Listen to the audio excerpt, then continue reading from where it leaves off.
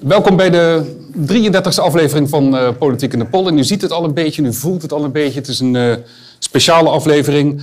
Acht zangers, straks zeven lijsttrekkers, een volle zaal, een livestreaming. Ook uh, groeten aan mensen thuis. Dat heb ik altijd al eens een keer willen zeggen. Welkom thuis, ook allemaal.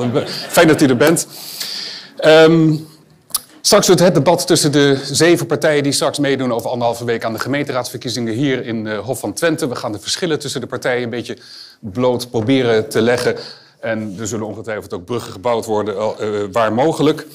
En natuurlijk staan we ook stil bij de situatie in Oekraïne. Uh, die situatie die natuurlijk een, een, een, donkere schaduw werpt over alles. Ook over de gemeenteraadsverkiezingen en ook over deze aflevering van Politiek in de Pol. We zien allemaal de beelden op televisie natuurlijk. Maar we zien ook de grote betrokkenheid in het hele land. En, ook, zeker ook hier in de gemeente Hof van Twente. Waar al jaren, ik geloof meer dan twintig jaar inmiddels al, de vereniging... Uh, eerst was het Goor Kiev en nu is het Hof van Twente uh, Kiev uh, bestaat. Die vereniging, de voorzitter zit ook in de zaal, zag ik. Die zamelt ook geld in. En um, zorgt ook voor bemiddeling, eventueel voor gastgezinnen die zichzelf aanbieden voor opvang van Oekraïnse vluchtelingen in de, in de gemeente. Die helpen we ook vandaag. Uh, want de betrokkenheid van de gemeente die gaat nog wat verder bij de situatie in de Oekraïne. Want die heeft geleid tot een mooie toezegging. Het equivalent van de opbrengst van vandaag, dat zijn dus uw kaartjes, wij doen het allemaal voor niks. Maar uw kaartjes, het geld dat u betaald heeft voor uw kaartje, uh, dat wordt door de gemeente gedoneerd vandaag aan de vereniging uh, Hof van Twente Kiev. Dus op die manier leveren we allemaal gezamenlijk vandaag een bijdrage. En over die gemeenteraad gaat het dus vandaag. De gemeenteraadsverkiezingen over anderhalve week die zijn hier razendspannend. Uh, u weet dat het huidige college van CDA en VVD beschikt nog maar over één zetelmeerderheid, hè, 13 van de 25 zetels. Dus ofwel ze moeten hier een, uh, een coalitiepartner gaan uh, ronselen, of er ontstaat misschien wel een hele nieuwe coalitie, wie weet. Er staat dus veel op het spel. En moet je nou toch zien wat hier gebeurt? wie wel eens zegt dat mensen zo weinig geïnteresseerd zijn in politiek en dat er zo'n grote kloof zou bestaan tussen publiek en politiek. Nou, kijk eens, we hebben een volle zaal, een livestreaming, dus die betrokkenheid. Bij Politiek in de Pol bestaat er geen kloof tussen het publiek en, en de politiek. En ik zei het al, dankzij de gemeente wordt dit uh, programma ook uh, live uh, gestreamd.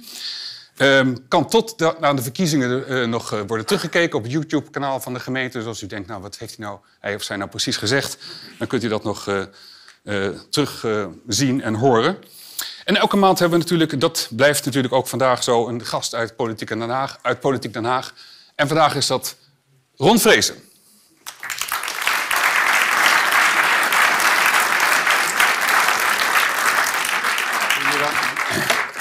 Ron, welkom. Jij komt altijd... Ja, blijf maar lekker staan. Uh, op, ik, ik hoorde dat jij altijd... Uh, dat staat in jouw boek. Dat ja. je altijd opkomt met een bepaald nummer. Ja, dat uh, hebben we hier niet gedraaid, hè? Nee, nou, misschien kan dat nog. Uh... Ja, ik weet het niet of het uh, technisch mogelijk is. nee, dat is I Got A Feeling van ja. de Black Eyed Peas. Daar ben ik ooit mee begonnen toen ik het dak op hey, ja, joh, joh, daar komt hij, daar komt hij. Ja, kijk, nou als je dit hoort... En wat gebeurt er dan? Met je? Ja, wat gebeurt er dan? Ja, dan, word je, dan krijg je energie van. Ja? Tenminste, ik wel. En dat, dat heb je nodig na een hele dag werken. Het, het, leuke voor mensen van de televisie is, uh, jij behoeft nauwelijks introductie, want iedereen kent jou. Jij kent nou, de mensen natuurlijk nog niet. Ja, normaal zie ik jullie in het zwarte gat. Ja. Is ook al... maar nu, het is heel erg leuk om altijd dit soort bijeenkomsten te doen, moet ik eerlijk zeggen. Omdat ja, dit zijn, denk ik, toch onze kijkers. Zeker. Uh, die, waar je regelmatig bij in de huiskamer komt. Dus het is heel erg leuk als je elkaar ook eens echt kan ontmoeten, vind ik. Ja, je hebt een lange journalistieke carrière, Ron sinds 2014 al politiek duiden voor het NOS-journaal. En daarvoor ook al over ook een boek. Hè? Acht, uur, acht jaar, acht uur. Ja. En met een openhartig kijkje achter de schermen. Het boek is hier straks ook te koop. En Ron is bereid dat ook uh, na afloop uh, van Politiek in de Pol te signeren in de, in de foyer. En blij dat je hier bent, Ron. Na twee annuleringen vanwege de coronamaatregelen... Uh, dat je toch bereid was nog te komen ja. naar Politiek in de Pol. Je gaat ook zo meteen helpen bij het verkiezingsdebat. Daar verheug ik me erg op. En de lijsttrekkers ook trouwens. Nou, dat, dat, dat moeten we nog afwachten. dat moeten we nog afwachten. Ik heb je natuurlijk helemaal ingelezen de afgelopen ja. dagen in uh, Hof van Twente, dat begrijpt u. Ja, ja, ja. ja dus nee, ik ben benieuwd. Ja. Um, maar eerst toch de situatie in de Oekraïne, uh, waarvan je ook merkt, ik denk bij jullie ook in Politiek Den Haag, dat dat ook de campagne voor de gemeenteraadsverkiezingen uh, overschaduwt. Hè? De, ja. uh, in hoeverre merk je dat? Nou kijk, die gemeenteraadsverkiezingen zijn natuurlijk sowieso best wel... Het, het, zijn hele belangrijke verkiezingen, vind ik altijd. Want ze gaan echt over politiek dicht bij de mensen... over besluiten waar mensen rechtstreeks in hun straat of in hun wijk mee te maken kunnen krijgen.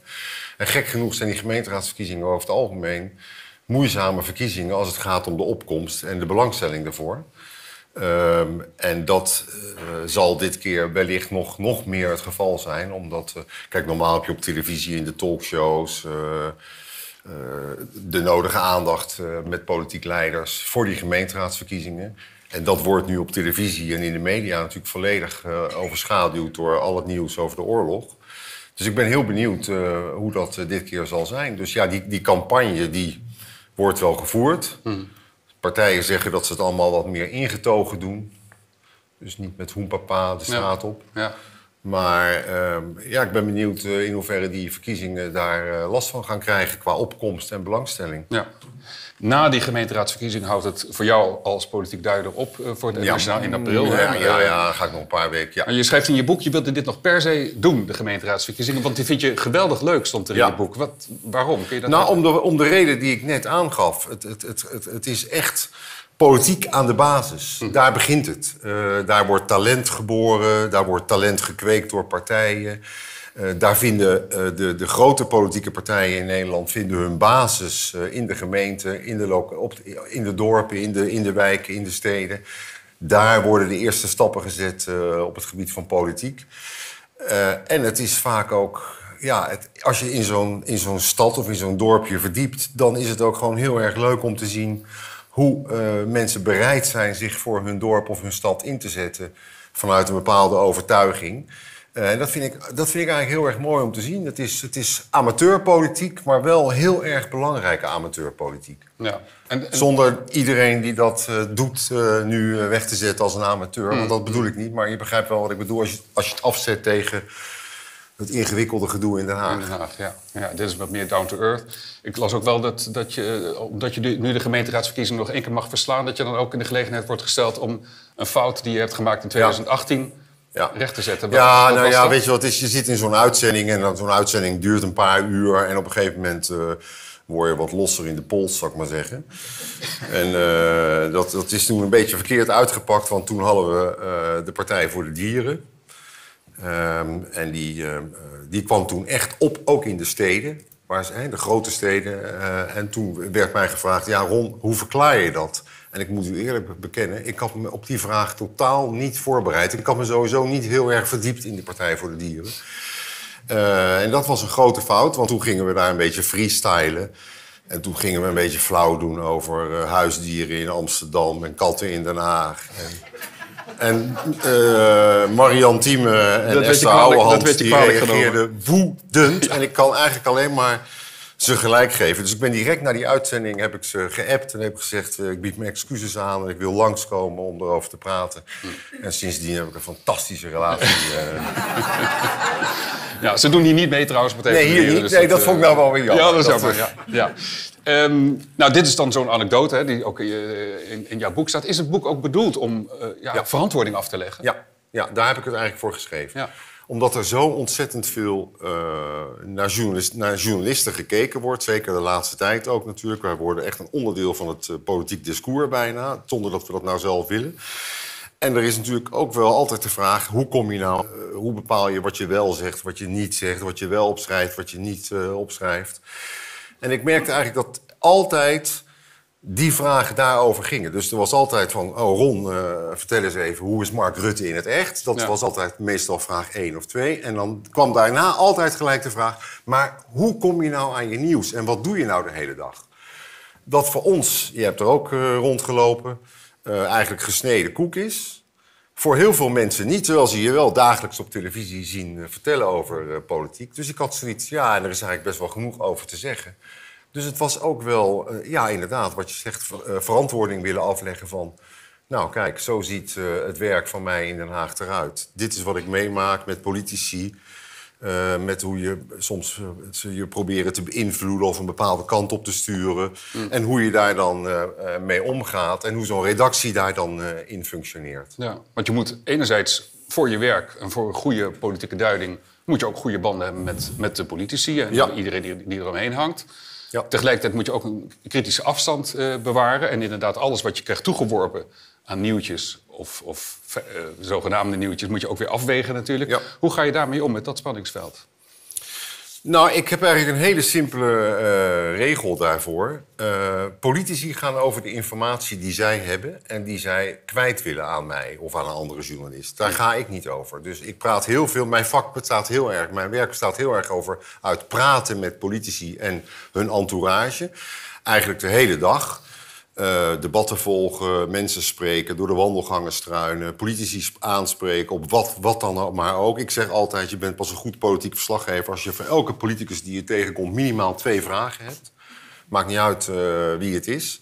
Want dan ben je, goed, eh, dan ben je constant goed bezig met het, met het vergaren van informatie en, en de nieuwtjes horen.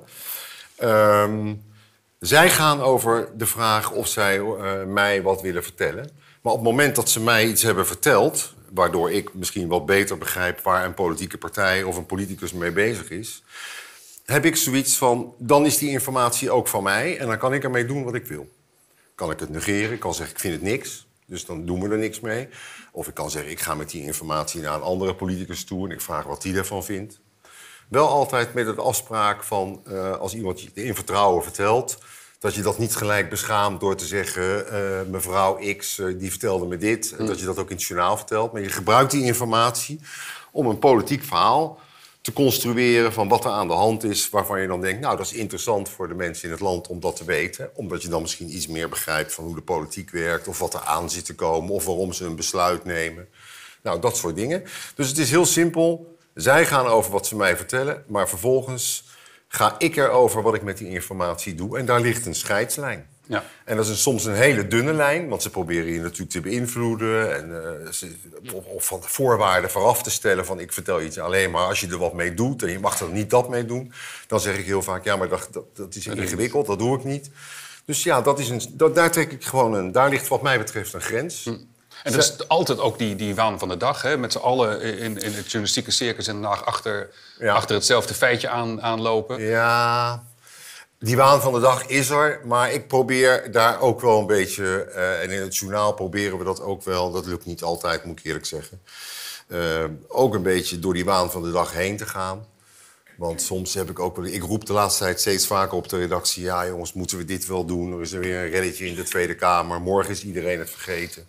Hm. Eh, eh, Maar het is misschien ook omdat je je afscheid al hebt aangekondigd. Dat je langzaam wat meer afstand kunt... zou Nou ja, kunnen, ja. nee, Nou, nee, nee, maar ik bedoel, ik, eh, dat je wat meer reflectie hebt op wat je... kunnen, ja. eh, hè, dat heb zou je ook kunnen, laten zien. Ja, dat zou kunnen. En dat de anderen nog... Nou, maar de jongere collega's die zijn het wel heel vaak met mij eens, hoor. Oh. Dus, eh, ja, dus eh, dat, dat valt best wel mee eigenlijk. Nee, maar het, het, het is wel... eh, ik, ik, ik- dat is ook een van de dingen die ik in mijn boek behandel. Dat je moet, je moet als journalist moet je, eh, eh, je moet open en eerlijk zijn over hoe je je werk doet en hoe je aan je informatie komt. Daar moet je altijd eh, verantwoording over willen afleggen. Maar je moet, ook op, je moet je ook bewust zijn van de verantwoordelijkheid die je hebt. Eh, en zeker als je bij het journaal werkt, wat een heel groot, machtig medium is in het land, dan heb je een bepaalde verantwoordelijkheid en daar moet je zorgvuldig mee omgaan. En ik vind dat als je eh, alleen maar de hele dag de reddetjes van de dag doet en niet het grotere verhaal wat er echt aan de hand is, of de echte grote dilemma's in de politiek, als je daar niks aan zou doen. Dus ik zeg steeds vaker op de redactie, dat reddetje, dat laten we gewoon even vorige week, bijvoorbeeld Baudet hè, in het debat, die dan geen motie meer mag indienen. Ja, dan kan je gelijk van zeggen, eh, dit, dit gaan we vanavond laten zien. Maar waar gaat het eigenlijk over? Helemaal nergens over. Dus hebben we gewoon gezegd, dat doen we niet. Nee. En, dat, en die keuze, die Is het ook ik- geleerd van eerdere ervaring? Want Ja. in, in je boek eh, haal je ook een voorbeeld aan. eh, dat was jouw discussie ook met de eindredactie die in Hilversum eh, zit. Hè? Dat, dat, op een gegeven moment ging het NOS Journaal... heeft vijf dagen achter elkaar de opening van het journaal gewijd... aan de perikelen die er toen weer eens waren binnen Forum voor Democratie. Ja, was Toen een ander ook- vorm voor was- democratie dan nu. Hè? Ja, veel- toen was het nog wat groter. Ja. Ehm, en ook inhoudelijk anders bedoel je. ja. Ja. Eh, Maar toen was het wel een situatie waarbij vijf dagen achter elkaar met Forum werd geopend. En toen heb jij gezegd, eh, nou ja, daar voelde je je ongemakkelijk eh, bij. Ja. Ja. Ja, omdat in diezelfde week waren ook de openbare verhoren over de toeslagenaffaire. Wat natuurlijk eigenlijk gewoon, als je gewoon naar de situatie kijkt, een veel grotere kwestie is dan, uh, dan uh, het ineenstorten van een partij. Maar het was wel zo opmerkelijk dat je in één week tijd een partij waarvan je toch kon vermoeden dat die uh, groot zou worden en groot zou kunnen blijven, ehm, hoe die in één keer in één week gewoon totaal instortte. Dat hebben we natuurlijk nog nooit zo, en ook zo openlijk ook. Hè? Ja. Het begon op zondag met een tweet over uh, vermeende uh, nazi-sympathieën. Um, en dat eindigde met zo ongeveer dat in heel het land de fracties waren opgesplitst en, en de kern om Baudet heen was weggelopen. Ja. Dus ja, dat was wel heel bijzonder. Maar inderdaad, als je dan terugkijkt, dan denk je, nou ja, elke avond de opening van het journaal. Het was misschien wel iets te veel van het Maak je iemand of een partij ook groter dan die is? Nou, dat, ze deden er zelf erg veel moeite voor om dat niet uh, voor, voor, voor, elkaar te krijgen. dus ik geloof niet dat dat het doel was uh, van, uh, van die partij in ieder geval. En ook niet, zeker niet van ons. Nee, nee. Maar het was wel heel opmerkelijk politiek nieuws.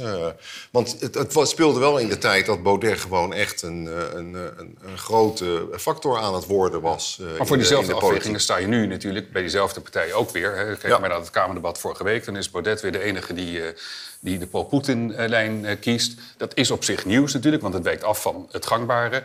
Maar dan zou je ook weer voor de afweging van hoeveel aandacht besteed je daar dan aan? Ja. Is dat altijd een discussie op de redactie? Ja, dat is wel eigenlijk altijd een, uh, een discussie. Ja, soms uh, ligt het gewoon voor de hand. Dan zegt iedereen, ja, dit moeten we gewoon doen. Is er, en dan is er geen discussie over. Dan is het alleen maar de vraag, hoe gaan we het doen en waar... en in welke maatvoering en hoeveel tijd besteden we eraan... en wat ga je erover zeggen... Maar soms is het ook wel een discussie. Uh, en dan, uh, dan hebben we het echt wel op de redactie erover. Ja, moeten we dit vanavond ook, uh, ook in het journaal van acht uur laten zien of niet? Ja. En, en wat vertel je er dan omheen? Welke context geef je er dan aan mee? Ja. ja. In je boek ben je ook openhartig over je, over je ziekte. Er werd in 2006 is er prostaatkanker bij je geconstateerd. Dat leek toen een tijdje weg te zijn. Ja. Maar in 2020, uitgerekend in 2020, het eerste coronajaar, zeg maar, kwam het weer terug. Ja, nou, het was daarvoor al wel terug. Maar, toen begon het behandelplan. In 2020 moest ik daar inderdaad ook voor gaan behandeld worden. Ja, ja. Dat was toen met uh, begin van met corona. En, en dan krijg je ook, dat schrijf je ook in je boek, hè, de, de, dat, dat je zelf eigenlijk. Uh, uh, jij behoorde dus eigenlijk tot een groep patiënten bij wie de behandeling moest worden uitgesteld. vanwege het grote aantal coronapatiënten. Toch moest je over die coronacrisis ook berichten op het journaal. Hoe, hoe, was dat voor jou? Nou, dat was, Omdat het jou zelf ook betrof? Ja, dat was, dat was een, echt een, ja, een doldwaze situatie was dat eigenlijk. Uh, het was die week uh, dat uh, Rutte zijn toespraak, zijn eerste toespraak in het torentje hield. Ja. Waarin eigenlijk, voor zover je dat nog niet kon denken, de, de, de omvang van deze crisis toch wel de huiskamers binnenkwam. Daarna hadden we het nieuws dat er binnen de kortste keer een enorm steunpakket voor ondernemers uit de grond was uh, gestampt. Uh, grenzen werden gesloten, het reizen met het buitenland werd stilgelegd. Uh, ja, er was elke avond, er was, er was die avond in het journaal ben ik geloof ik vier of vijf keer teruggekomen met, met breaking news. dat was ik weer het dak af en dan moest ik er weer op. Uh, bij wijze van spreken. En dat was eigenlijk ook dezelfde dag dat ik dat telefoontje vanuit het ziekenhuis kreeg. Van ja, Ron, we hebben slecht nieuws. Want uh, je zou uh, morgen beginnen aan je behandelingen. Maar we moeten het afzeggen, want het is gewoon te riskant. En we hebben er ook op het, eigenlijk geen personeel voor. Want alles en iedereen is hier bezig met corona. Ja. Ja, dan stort je wereld wel even in. Maar goed, tien minuten later begon de uitzending zo ongeveer. Dus dan is het omschakelen en door. Maar dat was wel een heftige week. Ja, dat zeg je heel makkelijk, maar... Ja, ja. ja. Nee, want het was ook wel belangrijk dat, dat, dat, ik die behandeling ook redelijk snel zou krijgen. Niet dat het levensbedreigend was als ik hem op dat moment niet zou krijgen. Maar voor de effectiviteit van de behandeling die ik moest ondergaan... was het wel belangrijk dat er niet uh, te lang mee gewacht werd.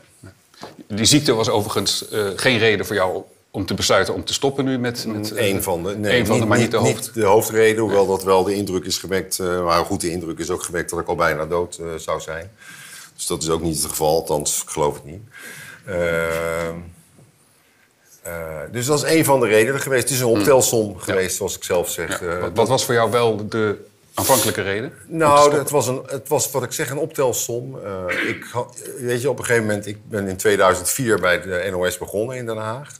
En vanaf 2009, 2010 doe ik veel duiding. En dan vanaf 2014 de vaste duiding in het 8 uur journaal. Het is gewoon een hele zware baan, dat ten eerste. Je staat 24-7, sta je aan.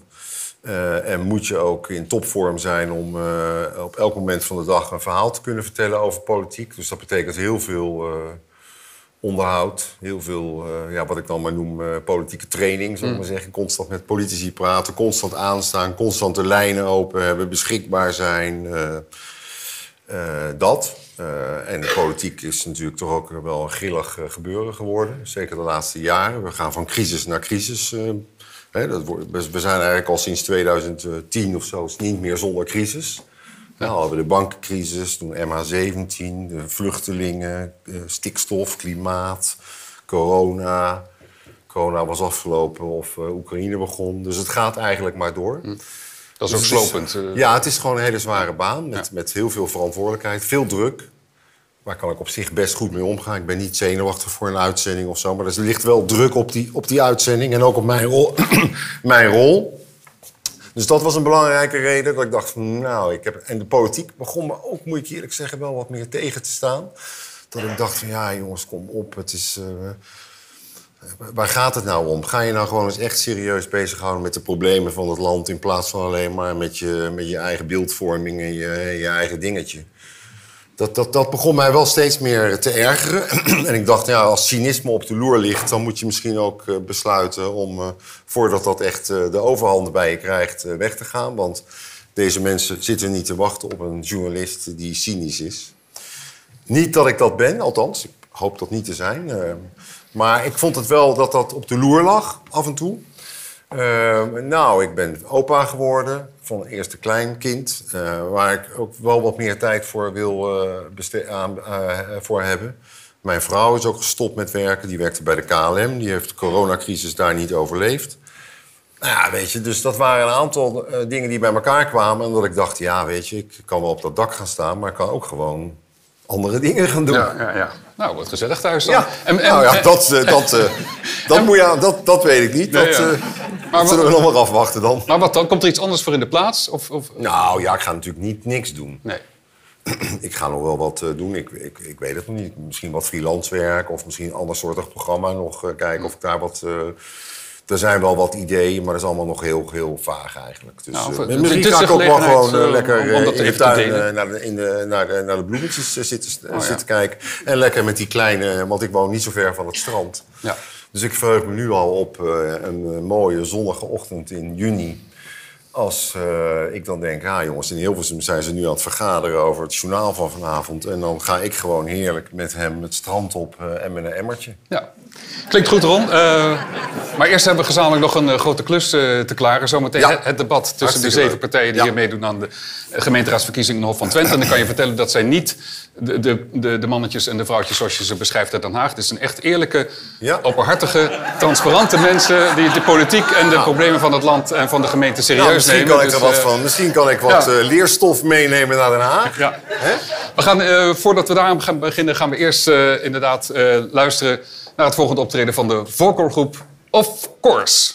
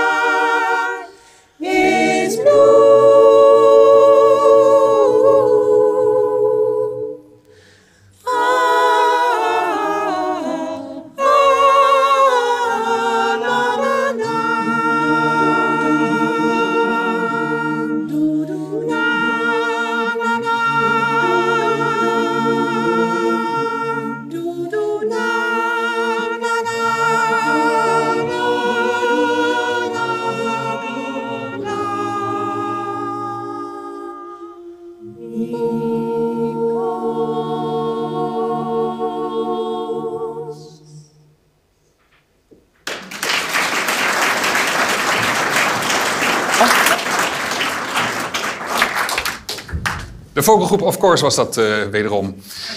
Ehm, de column is vandaag, zoals eigenlijk toen gebruikelijk, van Paul Abels.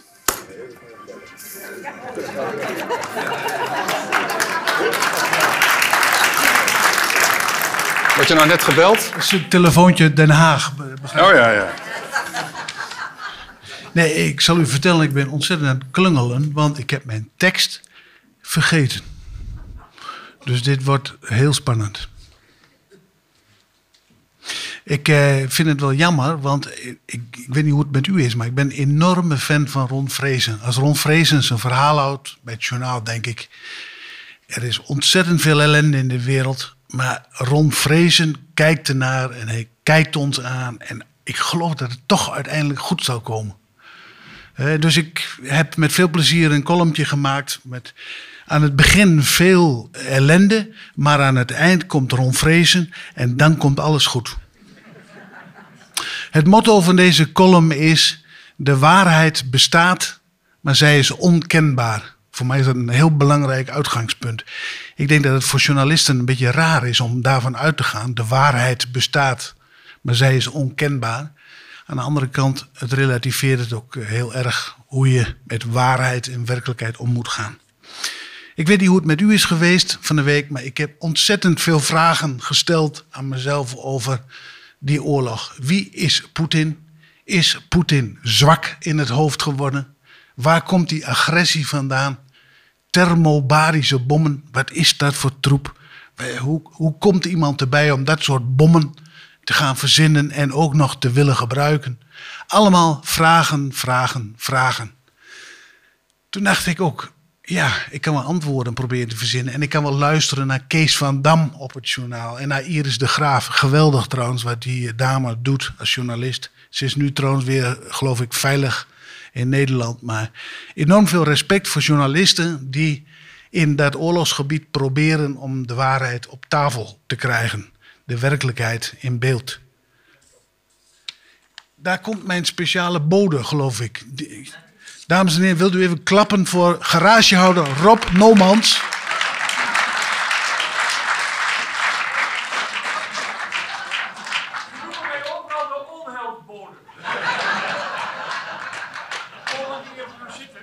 Ja, ga zitten. Ga rustig zitten. Eh, Dit is geen setup, dames en heren, dat u niet denkt.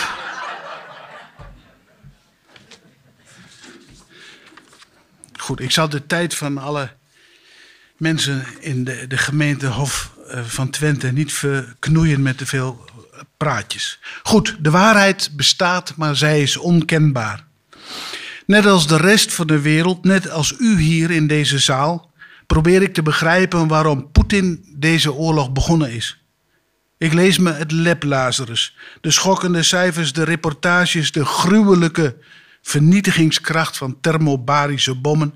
Ik hoorde commentaren van de journalisten Iris de Graaf in Moskou, Geert Groot-Koerkamp in Kiev, Kisia Hekster en van CNN-reporters. Petje af voor die dappere reporters. Vragen, vragen, vragen. Wat is wijsheid? Hoe moeten wij omgaan met zoveel agressie? Hoe kunnen we een wereldramp voorkomen? Is Poetin niet goed bij het hoofd geworden? Waar komt de agressie van deze man vandaan? Is hij nou de enige die deze oorlog zou kunnen stoppen? Leeft Poetin in het verleden? Ziet hij niet dat Oekraïne een vrij land is? Dat Oekraïne niet meer de parel aan de kroon van het grote 19e-eeuwse tsarenrijk is? Wat is waar? Hoe zit dat in elkaar? Filosoof Friedrich Nietzsche die wijst erop hoe belangrijk het vermogen om te vergeten is. Wie niet kan vergeten, zegt Nietzsche, wie blijft hangen in hoe het vroeger was, die komt niet verder. Die blijft maar vergelijken met het eeuwig imperfecte nu, waarin alles anders geworden is. Zo iemand krijgt steeds meer weerzin tegen zijn eigen bestaan en tegen het bestaan in het algemeen. Zo iemand die gaat spreken over het decadente Westen, die gaat spreken over de nazi's en de genocide in Oekraïne. Dit zegt Alice in Wonderland over zoiets. Als ik een woord gebruik, zei Humpty Dumpty, dan betekent dat niks anders dan ik bedoel. Niet meer en niet minder. Het is de vraag of je woorden zoveel betekenissen tegelijk kunt geven, zei Alice. Het is de vraag, zei Humpty Dumpty, wie er de baas is. Dat is alles. Wie de sidderende oude witte mannen om Poetin heen ziet, zijn staf, die weet dat er maar één de baas is. Wie de immorele opportunist Lukashenko ziet, die weet ook dat Poetin hem aan een touwtje heeft. U hebt het in de gaten. Ik probeer nog steeds te begrijpen waarom Poetin doet wat hij doet. Hij kan niet vergeten hoe het vroeger was en dat wil hij terug. Dat is hypothese 1. Poetin wil de baas zijn over landen waar zijn land vroeger de baas over was. Dat is hypothese 2. Nog één hypothesetje erbij uit de biologie. Waar komt die agressie van Poetin vandaan? Ik zeg uit angst. Een hond die bang is, bijt. Dat is hypothese 3. Deze drie hypothesen, dat is geen fijne cocktail. Hoe het af zal lopen, wie het weet, mag het zeggen. Herkent u die zin? Wie het weet, mag het zeggen. Het is een echte Ron Vrezen zin. Wie het weet mag het zeggen. En met hem komen we bij een vrolijker onderdeel van deze column. Een lofzang op Ron Vrezen. We gaan straks in Polonaise hier door de zaal. Met Ron voorop. Ik weet niet hoe het u vergaat, maar als Vrezen zijn praatje houdt op het journaal, dan ben ik scherp. Net als Ron Vrezen zelf. Relaxed duidt hij de dingen. Ik heb weinig verstand van herenmode, maar zijn colbertje is, dacht ik, altijd iets oversized. Ron heeft een jongensachtig tufke op de kop. In Dancing Dollekamp, de band van Diepenheimer André Manuel, speelt Bertje, Bertje K. Dat is een gitarist en die heeft precies zo'n tufke. Dat is een heel goede gitarist. Vaak praat Ron Vrezen over ingewikkelde dingen. En dat doet hij losjes. Als hij het niet weet, dan zegt hij het. En hij zegt ook waarom hij het niet weet. Dat is een enorme kwaliteit voor een journalist, vind ik. Vaak moet ik aan mijn oude leraar geschiedenis denken. Die zei ook geregeld dat hij iets niet wist. En dan keek hij daar heel filosofisch bij. En hij haalde zijn schouders op. De kaninevaten Waar ze vandaan komen? Tja, wij weten het niet. Sommige boerenjongens in mijn klas vonden dat stom. Meneer Jansen, u weet ja niks, zeiden ze dan. Ron Vrezen kan nog iets wat heel belangrijk is voor een parlementair journalist. Hij kan moeilijke dingen makkelijk uitleggen. Zonder, iets, zonder daar iets onnozels van te maken. Misschien is dat wel het belangrijkste gereedschap voor een persmens. Dames en heren, het zijn angstige tijden, maar we houden de moed erin. We hebben namelijk Ron Vrezen. We wachten in vertrouwen af tot hij zegt: Waar de kaninevaten vandaan komen, tja, wij weten het niet. Waar de Russen vandaan komen, tja, dat weten we wel. Dat ze in de Oekraïne zitten, weten we ook. Daarna glimlacht Ron even. Hij wacht. Maar, zegt hij dan, ik heb goed nieuws voor u. Ze zitten er niet meer. Ze zijn op huis op aan, de Russen. Ze hadden geen zin meer in oorlog. Poetin begon zo raar te doen. Hij is weggepromoveerd. Hij poft nu tamme kastanjes op het Rode Plein. En de nieuwe premier is Alexei Anatoljevich Navalny. Europa heeft hem in het hart gesloten. Het is feest. De mensen dansen op straat. In Oekraïne, in Rusland, in Europa. Ik zou zeggen, dans lekker mee. Slot. De waarheid bestaat, maar zij is onkenbaar. Dank u wel.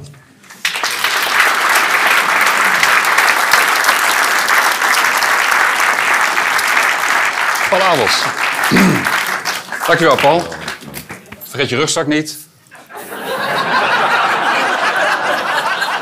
Was een mooie act eh, trouwens. was goed bedacht. Ik vond het wel mooi bedacht. eh. Zeker. Ja. Eh, en hier ligt nog Is een... dat Twents? Tufke? Ja. Tufke. Ja, kijk maar eens. En let u even op, let u even op zijn jasje ook. Ehm, zo direct gaan de zeven Niet lijsttrekkers... dus- oversized. Niet.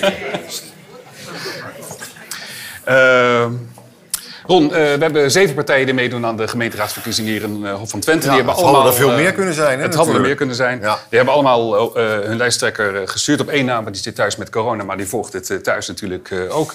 Dat is de burgemeester, die zit ook thuis te kijken. En eh, ik stel voor dat we ze één voor één even naar binnen halen. ehm, zodat de zaal natuurlijk ook kennis met ze kan maken. Want zij moeten op ze stemmen. En dat jij ook eh, kennis met ze eh, maakt. En dan wil ik beginnen, we gaan van klein naar groot. Allereerst met de allernieuwste eh, partij in Hof van Twente. Dat is de partij In Beweging. En lijsttrekker is Marianne Hutten.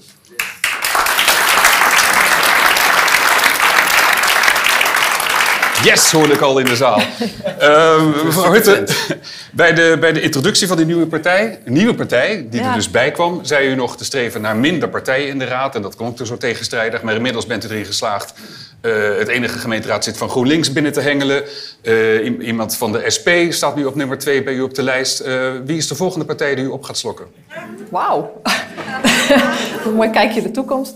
Nou ja, ons hele doel is inderdaad dat we van kleinere partijen één grote partij gaan maken die gewoon allemaal hetzelfde willen. Want waarom zou je energie stoppen in verschillen terwijl je allemaal hetzelfde wil?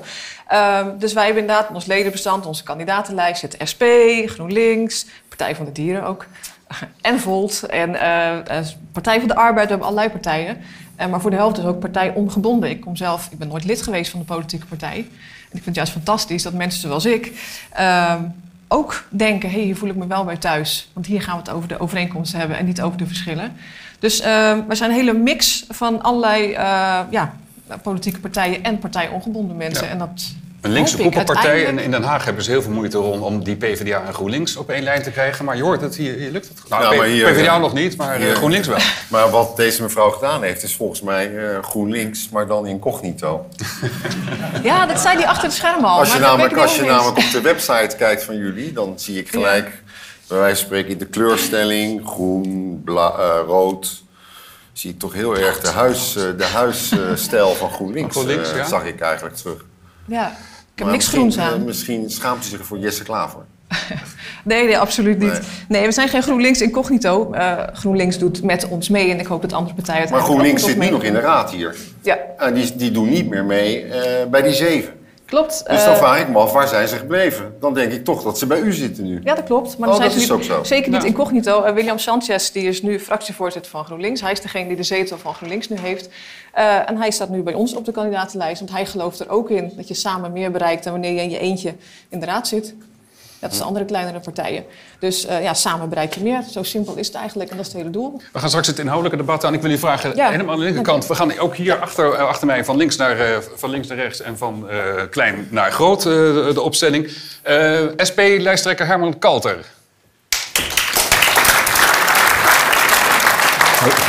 Nu nog met twee zetels in de raad, meneer Kalter. Ik zeg het ook even voor Ron Vrezen, dan weet hij ook gelijk waar we staan. Voelt u nou voor die ene linkse partij waar In Beweging voor pleit? Nou, nee, daar ben ik eigenlijk niet zo voor. Voor waar de ene linkse partij waar de in beweging voor pleit. Waarom niet? Nou, ik denk niet dat je eh, dus iets kunt bereiken door eh, partijen op te gaan slokken. In plaats van eh, samen, gewoon samenwerken. Maar je kan wel iets bereiken door samen te werken. Jawel, jawel. Ja, maar dat kan je misschien ook beter als je één fractie bent, toch? Of niet? Oh, dat weet ik niet. Nou, ik, Oh. dat- ik denk niet dat het per se zo zou moeten zijn. Toch? We hebben ook een regering die eh, uit coalitiepartijen zijn. Als het één partij wordt, gaat het niet zo goed. We hebben net gehoord bij, eh, bij Poetin. hè. Dat gaat gewoon niet zo goed. Dus eh, de- Gevaarlijke vergelijking. Zo, een gevaarlijke zo, zo. vergelijking. Gevaarlijke vergelijking. Maar ik- opslokken is toch iets anders dan samenwerken.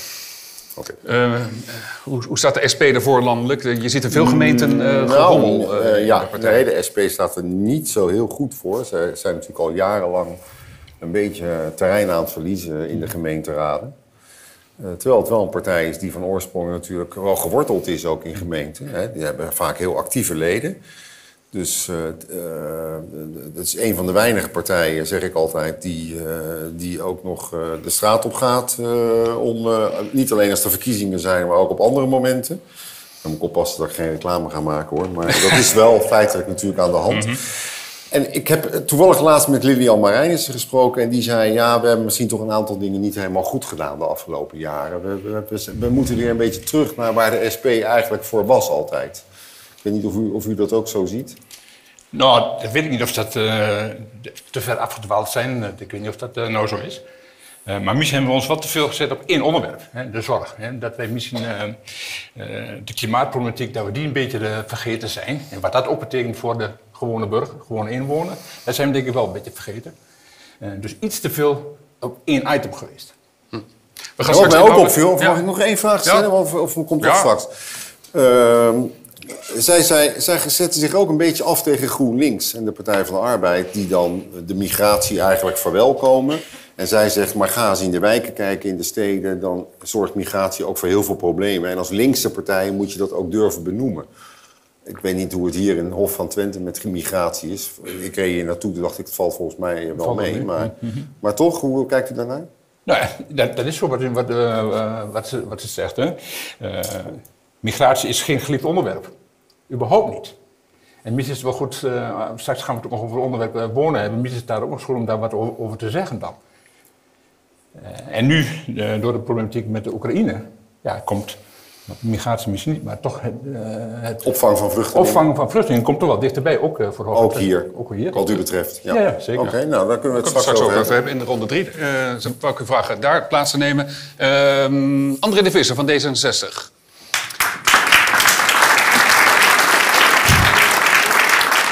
Welkom, een eh, nieuwkomer, eh, althans niet de partij, maar wel u als eh, lijsttrekker. Hè, tot voor, Als lijsttrekker wel, Als lijsttrekker. raadslid Olderheuvel was natuurlijk altijd de lijsttrekker uit Diepenheim. U komt uit Delden. Zit daar meer D66-aanhang dan in Diepenheim? Als je nou absolute aantallen, denk ik wel. Ja, maar ik weet niet of dat in percentages zal zijn. Nee. Nee. Hoe, hoe, hoe, kun jij eens vanuit Haags perspectief schilderen van hoe D66, met name partijleider Kaag, die nu in die rol zit van minister van Financiën, ehm, ja, hoe zij zich moeten gaan proberen te profileren in die gemeenteraadsverkiezingen? Poeh, dat is best wel... Ja, vertel dat eens. Is wel een, eh, dat is bijna een... eh, dat, Hoe moeten we het doen? Eh, hoe moeten we... Hoe moeten we het doen? Ja, nou ja, goed. Het is natuurlijk zo dat eh, jullie eh, hebben natuurlijk... eh, de afgelopen jaren zijn jullie behoorlijk gegroeid in de gemeente. Ja, gelukkig. Eh, 2018 was weer wat minder. Het was het Pechtold-effect een beetje weg. Dat, dat was, ik weet niet hoe dat hier is geweest. Ook. Lokaal, moet ik eerlijk zeggen, eh, is het, kan het soms heel erg wisselend zijn. Het hangt heel erg, zeker in wat kleinere gemeenschappen zoals, zoals hier...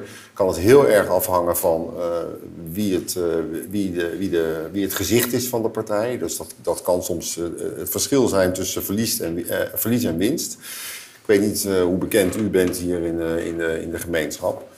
Maar dat zou, eh, dat zou mijn eerste advies zijn. Zorg dat mensen je kennen en dat, je, dat ze weten waar je voor staat. Want daar gaat het volgens mij bij gemeenteraadsverkiezingen vooral om. En ehm, ja, je, je bent toch wel een beetje als D66 ook gebonden aan wat een beetje de landelijke lijn is, Nou, toch? dat Dus je kan merk- hier niet hele andere dingen gaan dat- roepen dan Kaag roept. Nee, dat klopt. En eh, dat merk je ook in de, in de uitslagen. Dat als er, eh, ik zeg altijd, alsjeblieft, de laatste twee weken niks doen, niks doen, niks doen. Geen gekke dingen doen. En dan Oh. heb ik het over het land. Want dat geeft dat meteen een eh, effect. Als ze iets leuks doen, dan wel. Ja. Maar dat heeft echt wel daarmee te maken. Maar hebben jullie eh, positief of negatief? eh, Uh, Op dit moment vind ik het erg een beetje neutraal. Ik merk wel dat eh, er is een interview geweest net, geloof ik, op de tv vanmorgen, ja. vanmorgen. En eh, daar kwam ze erg goed uit. Eh, Vond u? wat zeg je? Ja, dat vond u. Dat vond u. Dat, dat is Kaag goed. eh, Vanavond Kaag gaat- kwam er heel goed Ja, uit. ja, nee, ja, dat ja, vindt u. dat is maar, maar D66 Ron gaat vanavond in het 8 uur journaal gaat dat helemaal eh, fileren en Oh, eh, oké. analyseren. Zet hem op. Ja, dat Eh, vond ik. Ja, dat vond ik. Ja, ja, eh, ja. wij gaan straks inhoudelijk met u verder eh, praten. André. Ja, dat is helemaal goed. Dan neemt u daar plaats op een rijtje. Gemeentebelangen, Henny Rohaan. Uit eh, Diepenheim, eh, drie zetels in de... Sorry? Hanny. Wat zei ik dan? Henny. Oh, sorry, Hanny Rohaan, natuurlijk. Hè, sorry. Eh, drie zetels, lokale partij, eh, Ron. Lokale partijen doen het altijd goed bij de gemeenteraadsverkiezingen. Eerder, ehm, eh, mevrouw Rohaan, heeft Caroline van der Plas... die was hier in Politiek in de Pool... die heeft een soort aanbod gedaan aan alle lokale partijen in het land... om een band aan te gaan, het boer, BBB, hoe heet het, de bondgenoot... En dan moet je als lokale partij dus gebruik maken van het logo van BBB en het hele partijprogramma onderschrijven. En dan, dan mag je een stickertje BBB op je posters eh, plakken. U heeft dat niet gedaan. In, in Berkeland is dat gedaan. In Lochem is het gedaan. Dus u wordt omringd door allemaal BBB-gemeenten straks. Waarom heeft gemeente Belangen dat niet gedaan? Omdat gemeentebelangen ehm, is een partij die eigenlijk al heel stabiel is in de Hof van Twente. Al jaren meedraait. Eh, we hebben zeker natuurlijk wel ons erin verdiept. En we zien ook zeker wel eh, overeenkomsten ehm, met de BBP. Maar op dit moment zijn ze net landelijk begonnen. Ze moeten zich daar ook nog waarmaken. Eh, ze willen eerst nog doorgroeien. Ze willen naar de provincie doorgroeien. Ehm, dus we hebben deze vier jaar hadden zoiets van... nee, op dit moment zijn wij eh, nog niet zo ver dat wij eh, vinden... dat wij daar eh, mee verder moesten op dit moment. Nee. Wij denken dat we het als partij gewoon... We staan hier, we zijn een stabiele eh, partij al jaren. En we hadden zoiets van, we gaan eerst nu gewoon nog als eh, gemeentebelangen verder. En wat de toekomst brengt, zien we wel. Ze kunnen ons altijd opzoeken, ze kunnen ons altijd benaderen. ehm, en ze mogen zich zeker bij ons aansluiten. Ze zijn welkom. Zo. Kijk, kijk, dat is redeneren. Dat is redeneren vanuit je eigen kracht, hè? Toch even een vraag, want eh, Jij, jij jij hoeft de microfoon niet te gebruiken. Oh. Jij hebt, jij hebt er. Jij, ja, dat ben ik ook zo gewend. Jij, eh, jij zei al, lokale partijen zijn groot. En die zijn eigenlijk oppermachtig in de gemeente, gemiddeld genomen. Hè? Meer, verreweg de meeste mensen stemmen op een lokale partij. Vier jaar geleden was dat hier in de gemeente niet het geval. Hier is CDA verreweg de grootste, daarna de VVD. En dan komt u pas, geloof ik, op plaats drie, hè? Als ik het goed zeg. Vier. Plaats vier. Dan denk ik, hoe kan het dat u niet weet... Kijk, daar gaan we al. Het stort helemaal in elkaar.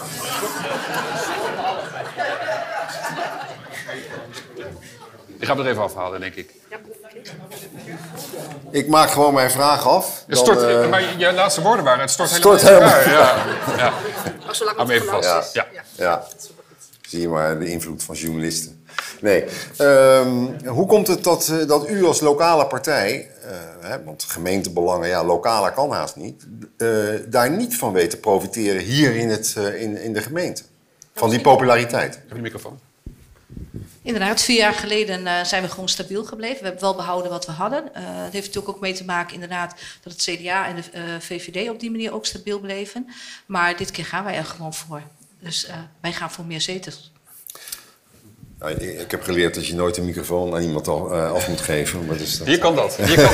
In hoofd van... te- Ja, maar Ron, hier laten Nou, Oké, nou, laten dat komt Ron, dan straks wel terug. Hier laten we de deur openstaan, de fiets gaat niet op slot, de microfoons kun je afgeven. Die komt altijd terug, dat maakt niet uit hier. Dus Kijk. welkom, eh, welkom in Twente. Geweldig. De volgende lijsttrekker, PvdA, Fred Rijkens. Welkom. eh, Hallo. Oh, dat mag niet. Vier zetels, eh, vier zetels nu in de raad. Bij de laatste verkiezingen scheelt dat maar, ik heb het even opgezocht, 347 stemmen met de VVD. Mhm. Ehm, Daarvoor en- waren we groter zelfs. En nu? Ja, ja. Maar ik refereer het even eh, aan vier jaar geleden. Maar wat gaat er eh, nu gebeuren? ik, Groter ik of kleiner dan de VVD? Ik moet ik, een beetje Ron Fraser-achtig. Ik weet het niet. Eh, tenminste, dat heb ik gehoord.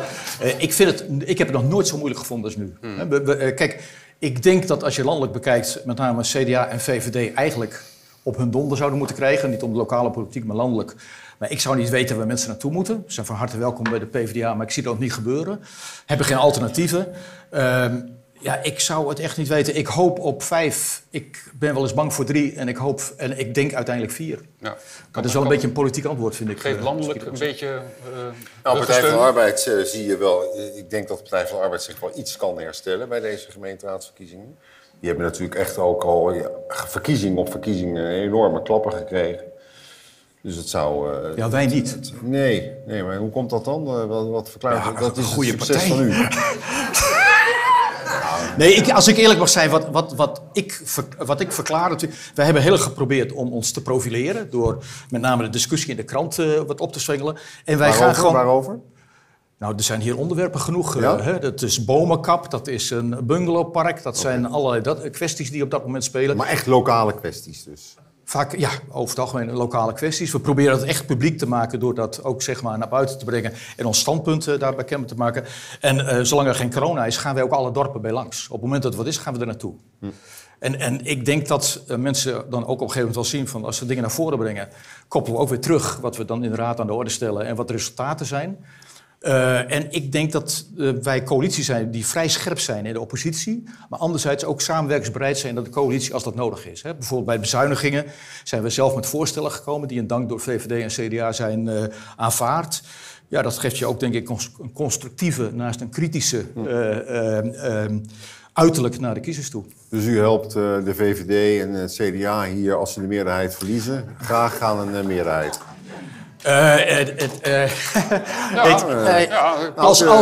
Nou ja, ik, het is geen voorkeur voor CDA en VVD. Het is, het is kiezen voor de samenleving. Waarin je zegt van op dit moment is het noodzakelijk om alternatieven te vinden. En op het moment dat die partijen bereid zijn om onze voorstellen over te nemen. En dat is met name het college die dat doet.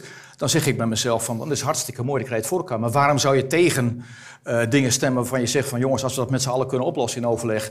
Dan moet je dat gewoon doen. En dat kan hier in deze Ja, gemeente. Ron, we gaan straks een coalitievorming doen. Eh de- Dank oké. Alfred eh, Rijkens. Eh, we kijken of de VVD daar ook op zit te wachten. Edwin Scheperman. Dus Julian? Blijf Eh, De nummer 5 van de lijst. eh, lijsttrekker Wim Meulenkamp eh, zit ziek thuis. Maar goed, Helaas fijn wel. dat u kon, kan komen. U zit al eeuwen, althans de VVD, samen met het CDA hier in het college. Bij de laatste verkiezingen dus wel nipt. Hè, 13 van de 25 eh, zetels. Het kan dus heel goed zijn dat u een coalitiepartner nodig heeft. Als u het nou zo hoort, wat er tot nu toe voorbij is gekomen... waarvan denkt u dan nou? Nou, de kunnen belangrijk- wel belangrijkste zit nog daar, achter het gordijn. Ja. En daarna moeten we kijken natuurlijk. Hè. Eerst maar eens even afwachten wat, de- wat de kiezer beslist. Ik denk dat dat het belangrijkste is. En daarna gaan we met elkaar praten. Zo hoort dat toch? En eh, Rutte heeft het afgelopen jaar flink onder vuur gelegen, maar heeft het hele jaar overleefd. En, en kan zich nu weer ook in deze crisis natuurlijk weer presenteren Ja. als standvastig eh, leider. Heeft dat lokaal invloed? Nou, ik denk het wel. Maar, maar de, ja, ik, ik denk het wel. Mijn vraag eh, aan u zal ook zijn, hoe komt het... Want u bent niet de grootste hier, terwijl Rutte al jarenlang de grootste van het land is. Ja. Hoe komt dat, dat u daar niet van in, eh, in de gemeente hier weet te profiteren... van de populariteit van, eh, van Mark Rutte? Daar zal ik eens even goed antwoord op geven. Ja. Het interessante bij ons is dat we, als je kijkt naar de Tweede Kamerverkiezingen, zijn we wel de grootste. Sterk- Sterker nog, we zijn ruim de grootste hier. Met de gemeenteraadsverkiezingen niet. Dat klopt helemaal. Zijn we sterk, zijn we helemaal niet de grootste.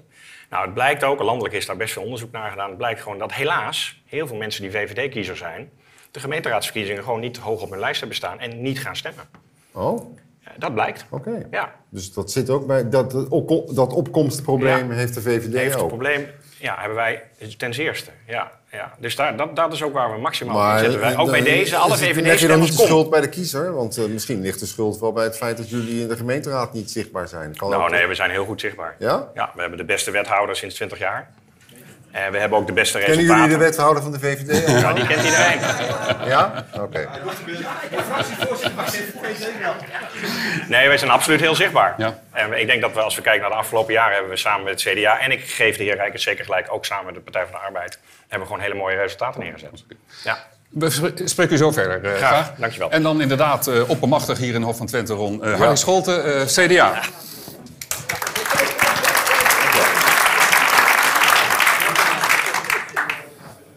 Sinds 2006 eh, meneer Scholten in de gemeenteraad, sinds 2014 al eh, wethouder, hier nu als CDA-lijsttrekker. Welke klus wilt u nog afmaken? Dat is er eentje van Lubbers, hè? die kennen we nog. Ja? Nou, we, we hebben meerdere klussen om af te maken. We hebben een aantal hele mooie programma's ingezet als CDA afgelopen periode. We blijven varen op een goede, constructieve, eh, sluitende begroting, goede financiële huishouding. Dat willen we verder door blijven zetten. We hebben een stukje continuïteit.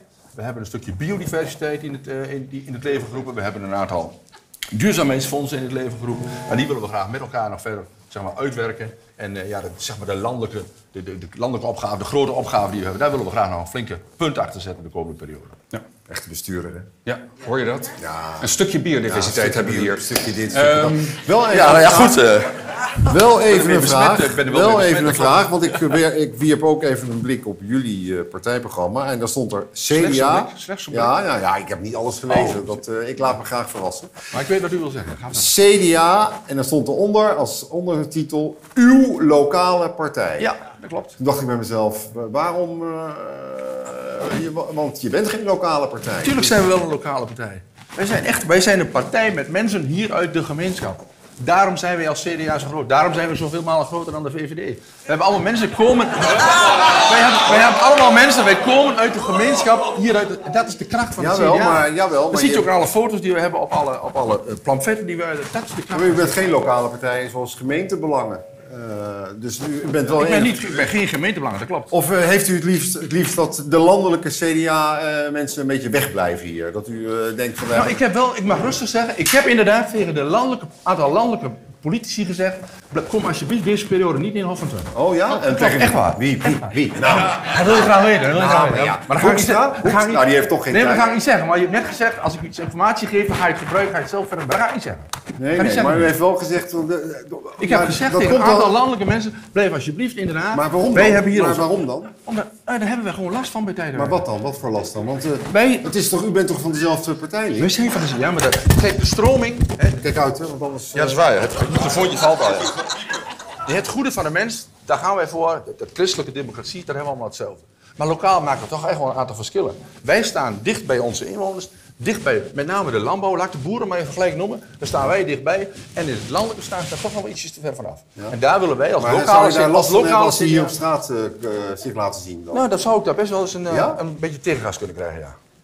Nou, Ja, dat is echt. Oké, wat dan Dat hebben we hier al een keer gemerkt bij de de duiding, Toen hier ook een, eh, een politiek debat in de poll was. Zeker, zeker. Harry Schottenzouw heeft in de krant gezegd... dat ze een dagje willen rijden met eh, Kamervoorzitter Vera Bergkamp. Ik weet niet of jij hem dat eh, zou aanraden, eh, Ron. Dat lijkt me, dat lijkt me Zou fantastisch. een goede, goede cursus volgen dan. Ja, dat is goed. Wat is de goede cursus? Cursus. Cursus, dat is de goede cursus. Goede cursus hoe je omgaat met, eh, met, eh, met mensen die eh, bloed onder je nagels vandaan halen.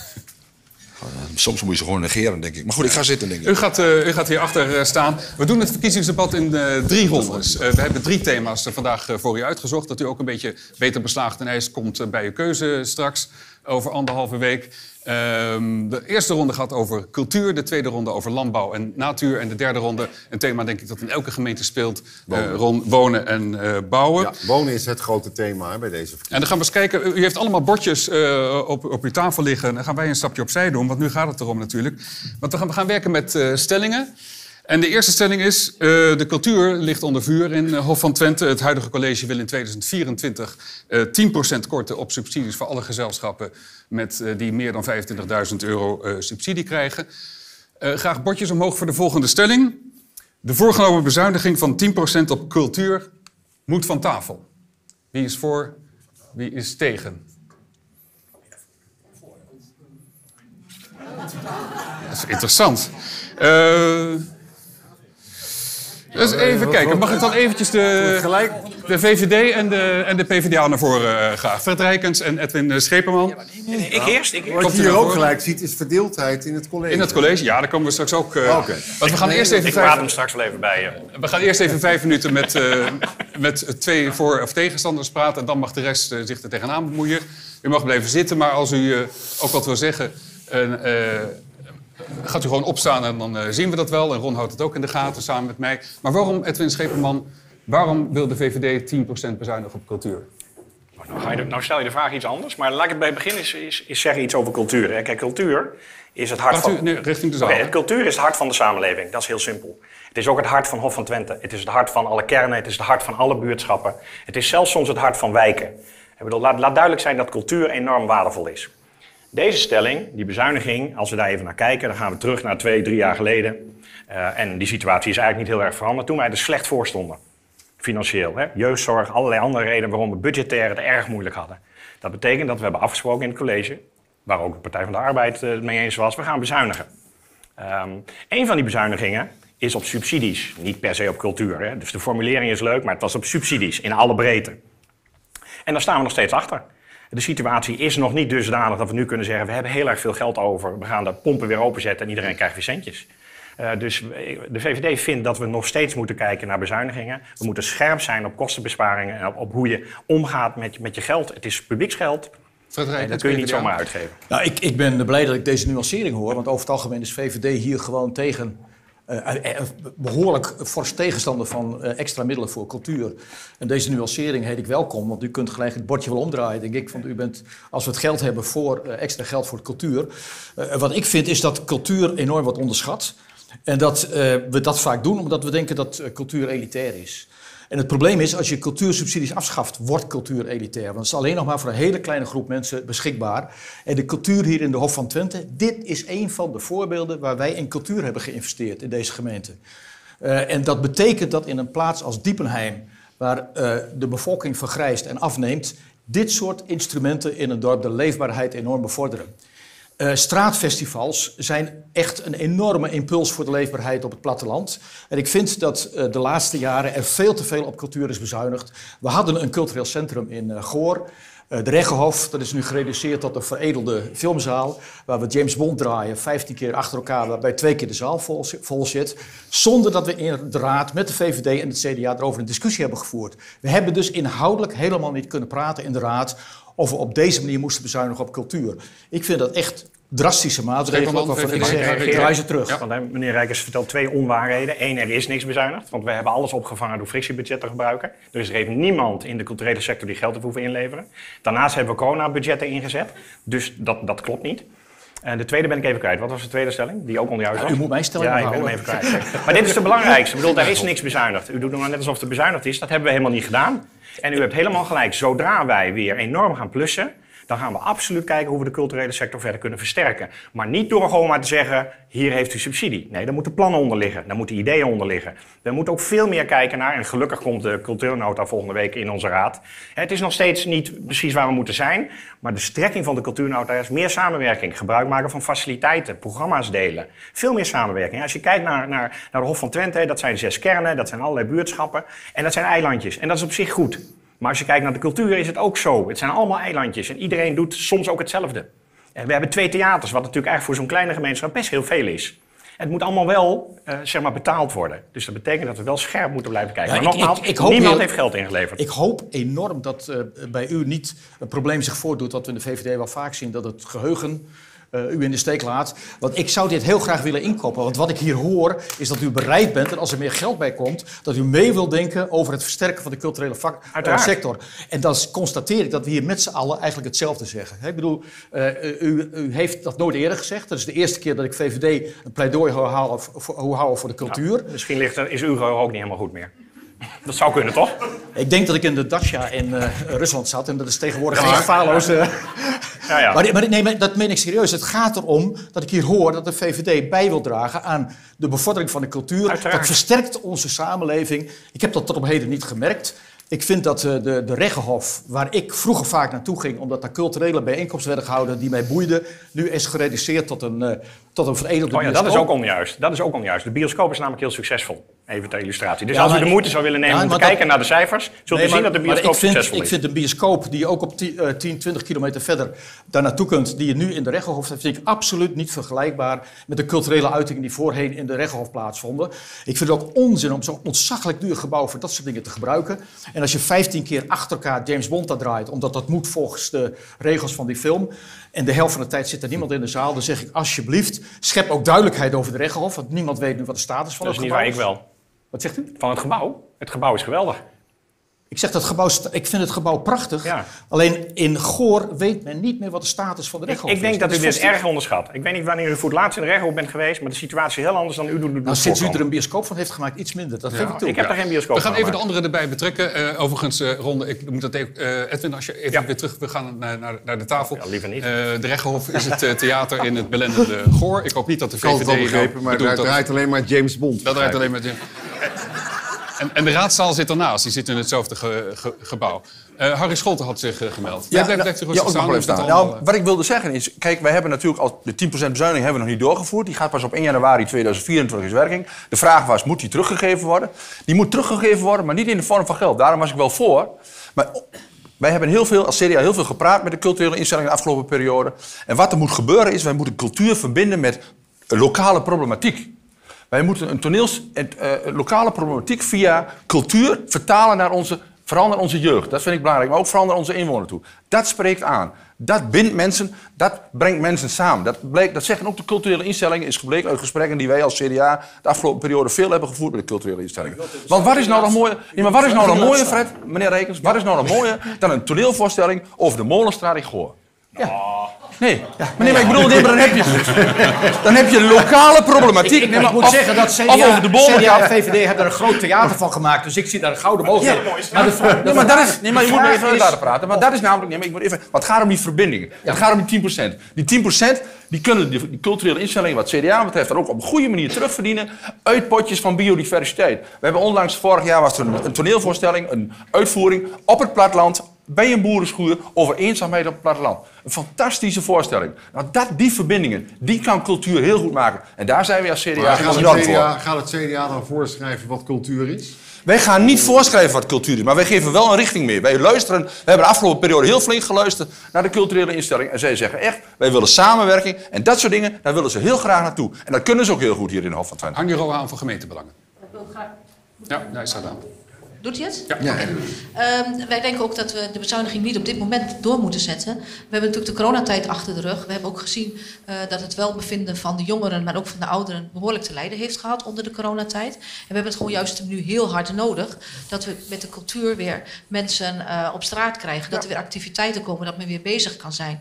En men heeft een behoorlijke klap gehad. Ook al hebben ze het financieel nog wel onder controle. Maar er moet juist extra geïnvesteerd worden. En die investering zullen we terugverdienen, omdat we dan niet een toeloop in de gezondheidszorg krijgen. Dus vandaar dat wij vinden dat dat heel erg belangrijk is. Ja, Marianne Hutte van eh, In Beweging. Ja, nou, zoals al gezegd werd, aanstaande dinsdag staat de cultuurnota bij de gemeenteraadsvergadering op de agenda. Ik zou zeggen, lees hem allemaal. De titel is Culturele Verbinding. Nou, als iets waar in beweging voor staat, is het de verbinding, want dat is wat cultuur doet. Lees hem allemaal, want er staan gewoon hartstikke goede dingen in waar het nuttig voor is. De dingen die nu genoemd worden. Ik ben heel erg voorstander van heel veel cultuur, ook echt in het basisonderwijs. Het liefst ook het voortgezet onderwijs, wat overigens niet in staat, graag toevoegen. Ehm, omdat daar eh, de creativiteit overeind moet blijven. En die hebben we heel hard nodig voor de innovatie, die we heel hard nodig hebben voor al die andere eh, ontwikkelgebieden. Eh, dus cultuur absoluut niet op bezuinigen. En als we dan vragen waar moet dat geld dan vandaan komen, van onszelf, maar ook, en dat gaat ook de cultuurnota over, bij de provincie hebben ze ook heel veel interessante potjes. Die hebben bijvoorbeeld over die verhalen.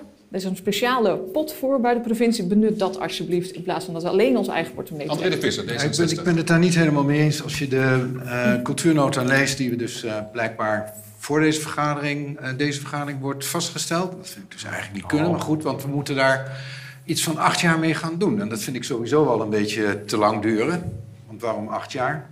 Wereld is We eh, wachten denk er ik ook al acht jaar op hoor. Nee, tien.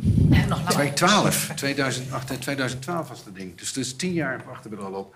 Ehm, daarnaast eh, wordt het, is het, eh, de- nota is louter beschrijvend en niet wat we gaan doen. Ik zie ook de plaatjes, er zitten plaatjes bij. En je ziet daar geen nieuwe ontwikkeling in. En dat vind ik wel, dat vind ik wel jammer. Ehm, even over de Rechenhof. Eh, er wordt gezegd eh, van eh, drie jaar hebben we al wat bezuinigd. Nou, volgens mij die Rechenhof, zover ik het ken, zie ik alleen maar stapje, stapje, stapje, stapje naar beneden. En dat moet een keer, en dat moet een keer stoppen. En nou ben ik het wel mee eens natuurlijk dat je goed moet kijken wat er moet gebeuren. Maar ik kan me niet voorstellen dat onze cultuur, en dat is een stukje beschaving die we toch moeten hebben. En dat is niet alleen voor de elite, want daar gaan we inderdaad dan wel echt naartoe. En we hebben gezien in onze jeugd, die willen dansen.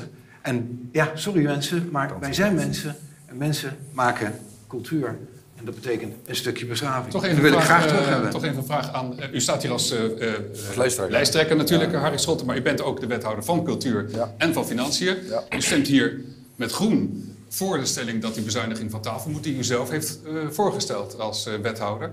Eh, hoe moet je dat met elkaar rijmen? Ja, maar dat is, dat is het onderscheid maken tussen verschillende. Ik sta hier als lijsttrekker van Ja, CDA. ja. En ja, dat is, nee, maar daar- zo sta ik hier.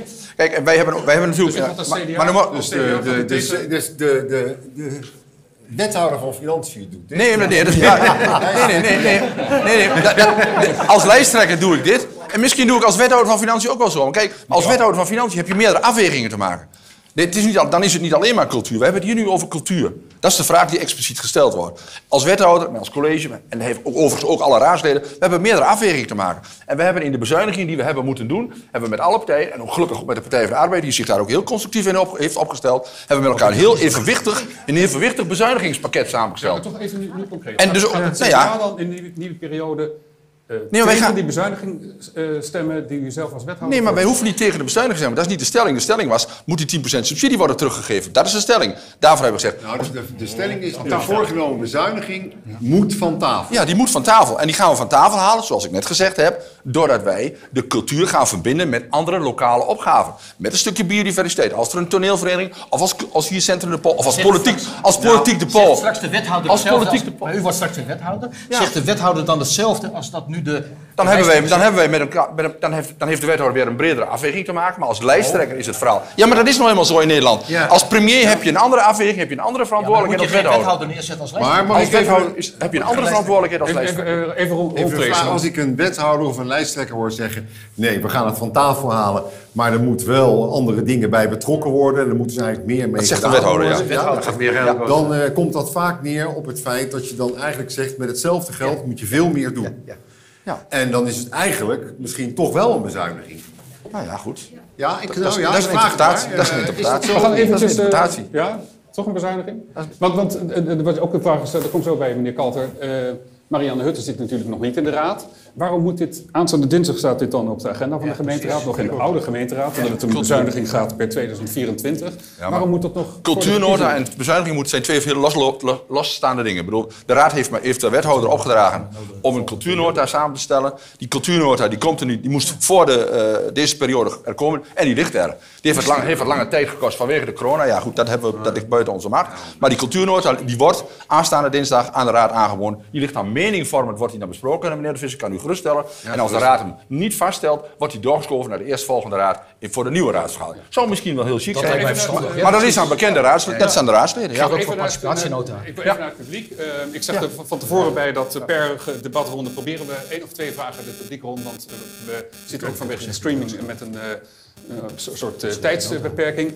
Maar is er iemand eh, met een vraag aan een van de lijsttrekkers? En dan graag eventjes eh, ook concreet aan wie. En heel kort eh, een vraag, als dat eh, kan. Als hij er is hoor. Het gaat over cultuur nu in de eerste ronde. Wie mag ik het woord geven? Helemaal niemand. Dan ga- eh, Herman Kalter had zich nog eh, gemeld. Ja, even over die voorgenomen bezuiniging. Eh, Als je die cultuurnota bekijkt, wordt ook een eh, groot eh, beslag gelegd op cofinanciering van andere organisaties. Hoe wil je nou kleinschalige cultuurinitiatieven voor elkaar krijgen als er ook nog cofinanciering moet komen? En dan hebben we een gelijk het probleem te pakken wat hier in de gemeenteraad speelt. Eh, toen straks zei eh, de lijsttrekker uh, Scholten ook al, eh, we moeten streven naar sluitende begroting steeds. Dat kan gewoon niet bij gemeentes zoals Hof van Twente. En uit dat feit moet je steeds bezuinigingen doen en naar de brede schalen kijken, waar hij dan als wethouder dan blijkbaar naar moet kijken, of blijkbaar naar waar hij naar moet kijken. Dus het, het, probleem is gewoon te weinig geld en dan gaan we het oplossen door cofinanciering om culturele initiatieven voor elkaar te krijgen. Maar in de, in de nota staat ook dat voor kleinere initiatieven waar u het over heeft... Ja, even, even Marianne Hutte. Ja, de kleine initiatieven waar u het over heeft, die worden er buiten gelaten. Tot 15.000 euro, daar wordt niet aan getornd. Nee, maar toch dus... het fenomeen cofinanciering vind ik wel een vreemd idee. Maar mag ik voorstellen dit debat volgende week doen? Want volgens mij hebben we dan de nota op de agenda staan. Ja, ja, ja, hallo, je gaat het zelf, uh, hebben jullie het steeds over, of niet? In ges- uit Ja, ik gesprekken, zei met dat die op de culturele agenda instellingen, ja, maar uit gesprekken met culturele instellingen is gewoon gebleken de afgelopen, afgelopen periode, en dat zeg ik ook als lijsttrekker van het CDA, dat ze heel graag willen dat de gemeente haar helpt, dat de politiek haar helpt met het binnenhalen van extra financiering vanuit de provincie en vanuit het Rijk. Die rol hebben wij met elkaar te doen. Dat is, de, dat is de co-financiering waar we naar op zoek zijn. En dan kunnen wij als gemeente, en daar moeten we als partij ook heel goed naar kijken, kunnen we veel meer geld mee binnenhalen. Biodiversie eventjes, daar heeft het college het afgelopen jaar 1 miljoen voor gereserveerd. Hebben we allemaal mee ingestemd. Dus de teller staat bijna op 3 miljoen. Dus 2 miljoen co-financiering opgehaald, meneer Kalten. Dat is een heel mooi resultaat. dit is de En daar- En daar moeten wij op cultuur, eh, eh, in- op cultuurgebied moeten we daar ook naartoe. Ja, dat is wel de wethouder, maar je haalt een aantal dingen door elkaar. Maar ja, is Nou ja, wethouder, ja. Ik zou wat-. Wat ik, wat ik wel vind, is dat de oplossing die het CDA steeds vindt, is om aansluiting te vinden bij eh, waar ze voor staan en waar ze nu mee in de problemen komen. Alles wat eh, bezuinigd wordt, dat moet nu vertaald worden in biodiversiteit of zaken die in het agrarische sector moet de dingen aan elkaar verbinden, waarvan- Wij moeten de dingen aan elkaar verbinden. Ja, ja, maar- de maar je praktijk leert dat je dingen aan elkaar verbindt. Er gebeuren hele goede dingen. De praktijk leert dat daar de kans ligt. Want het geld is gewoon, het is gewoon schaars. We hebben zoveel opgaven met elkaar. ik vind- ik Als vind- wij niet gaan verbinden, komen we er niet uit Maar ik vind verbinden heel mooi, daar ben ik heel groot voorstander van. Maar op een gegeven moment vind ik verbindingen zoeken waarvan ik denk van ja, het is heel mooi. Maar hoe die biodiversiteit hier de cultuur kan bevorderen, dat vind ik nog heel Ja. Ja, je gaf een theatervoorstelling. Nou, kijk eens, nee, maar kijk eens hier, kijk eens hier in de tuinen. Maar kijk hier eens bij de tuinen van Diepenheim. Kijk eens bij de tuinen van Diepenheim. Dat is toch een stukje natuur dat daar ontwikkeld is. Een stukje biodiversiteit, maar ook een stukje kunst, een stukje cultuur. Daar ligt een perfecte verbinding. maar u, vindt, u vindt de weilanden van agrariërs hier ook een stukje natuur. Dat zijn ik zeg van, ik heb schoolgeleerd dat dat cultuur is. Nou, Dat is een mooi bruggetje naar de, naar de Ja. tweede ronde. Want dan, eh, daar gaat het eh, specifiek over landbouw en eh, natuur. Neemt u even plaats, een beetje weer afkoelen en een beetje glaasje water. en dan We eh, hebben een potje water. We hebben een nieuw gaan we potje even water. Potje water naar... nodig. Ja, hier. Hier, hier. Ja, we, kunnen, ja, we moeten Heb je goed water. water? Komt eraan, komt eraan. Spreekwater. En dan gaan we weer even luisteren tussendoor naar weer de vocalgroep Of Course.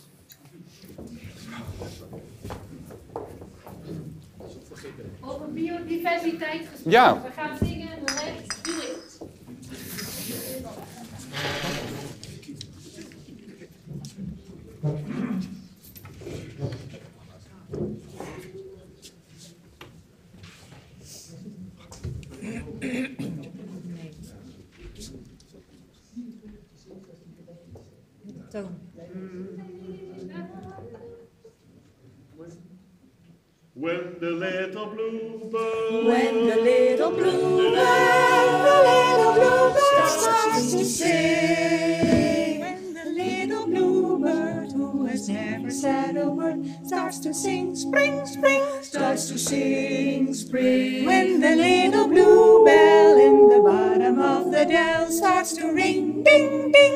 Starts to ring. ding. When the little blue clerk in the middle of his work starts to tune to the moon up above, it is nature that's all simply telling us to fall in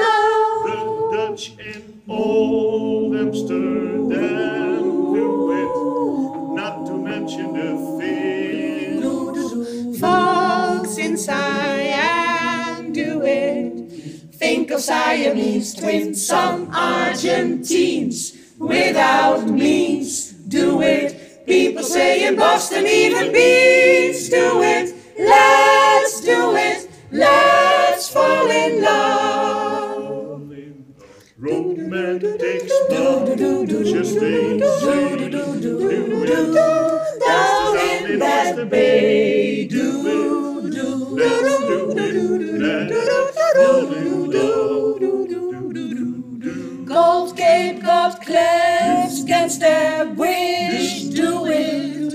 Even lazy jellyfish, do it. Let's do it. Let's fall in love. Let's fall in love. The electric eels, Eels, I might add, do it.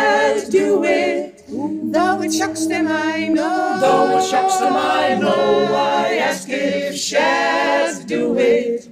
Wait to bring the shad row in shallow shoals. In these souls do it. Goldfish in the privacy of bowls do it. Let's do it. Let's fall in love.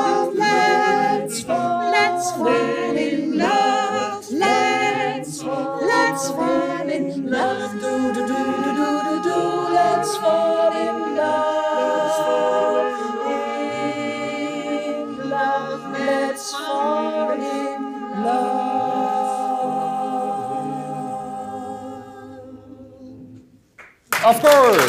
Dankjewel.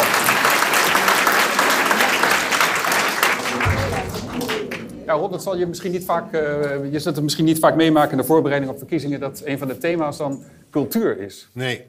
Leuk, En als hè? ik dit Dat dan is zie, leuk, dan- hè, van Hof van Twente? Ja, het is hartstikke leuk. Maar Ja. dan vraag ik me wel af, wat heeft dit met biodiversiteit te maken? Ja, ja, ja dat, dat... Maar, dat, dat is, maar ik ga erover nadenken onderweg naar huis. Nou ja, een van de, dat is wel een leuk bruggetje inderdaad, zei ik al, naar eh, de tweede debatronde. Want die gaat over landbouw, biodiversiteit, dus ook natuur. En eh, Ron, een van de grootste opgaven van het huidige kabinet... is natuurlijk het terugdringen van de stikstofuitstoot. Dat is echt een hoofdpijndossier voor dit kabinet. Ja, zeker. Maar ze hebben één geluk nu, eh, althans, dat is wel de bedoeling, dat ze heel veel geld hebben. Hè? Ja. Ik geloof dat er in dat fonds eh, 25 miljard eh, moet komen om eh, natuur te herstellen en daar waar mogelijk eh, boerenbedrijven of te verplaatsen dan wel eh, te laten stoppen. Ja.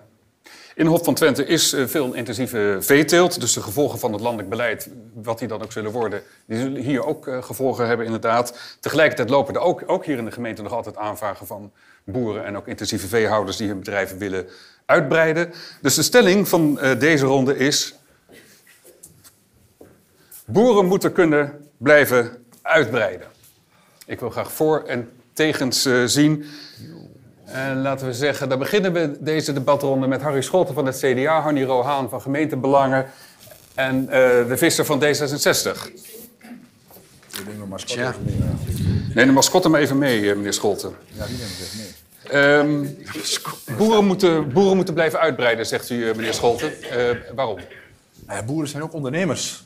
En als je ondernemers de mogelijkheid eh, ontneemt om niet meer te mogen uitbreiden, dan ontneem je ze het ondernemen. Dat, dat kan toch niet waar zijn? Dus een hele simpele stelling. Boeren zijn ondernemers, zijn goede ondernemers is gebleken. En die moet je ruimte geven om uit te breiden. Uit te kunnen breiden. Maar uitbreiding in de breedste zin van het woord. André de Visser. Ja, ehm, er is op dit moment eh, die megastal. Eh, Pardon, dus? Die, die megastal, die varkenstal eh, en achter, Achterveld 2. Er loopt een aanvraag. Ja, dat- Er loopt een aanvraag, 1250 eh, varkens op dit moment en die gaat naar 4000.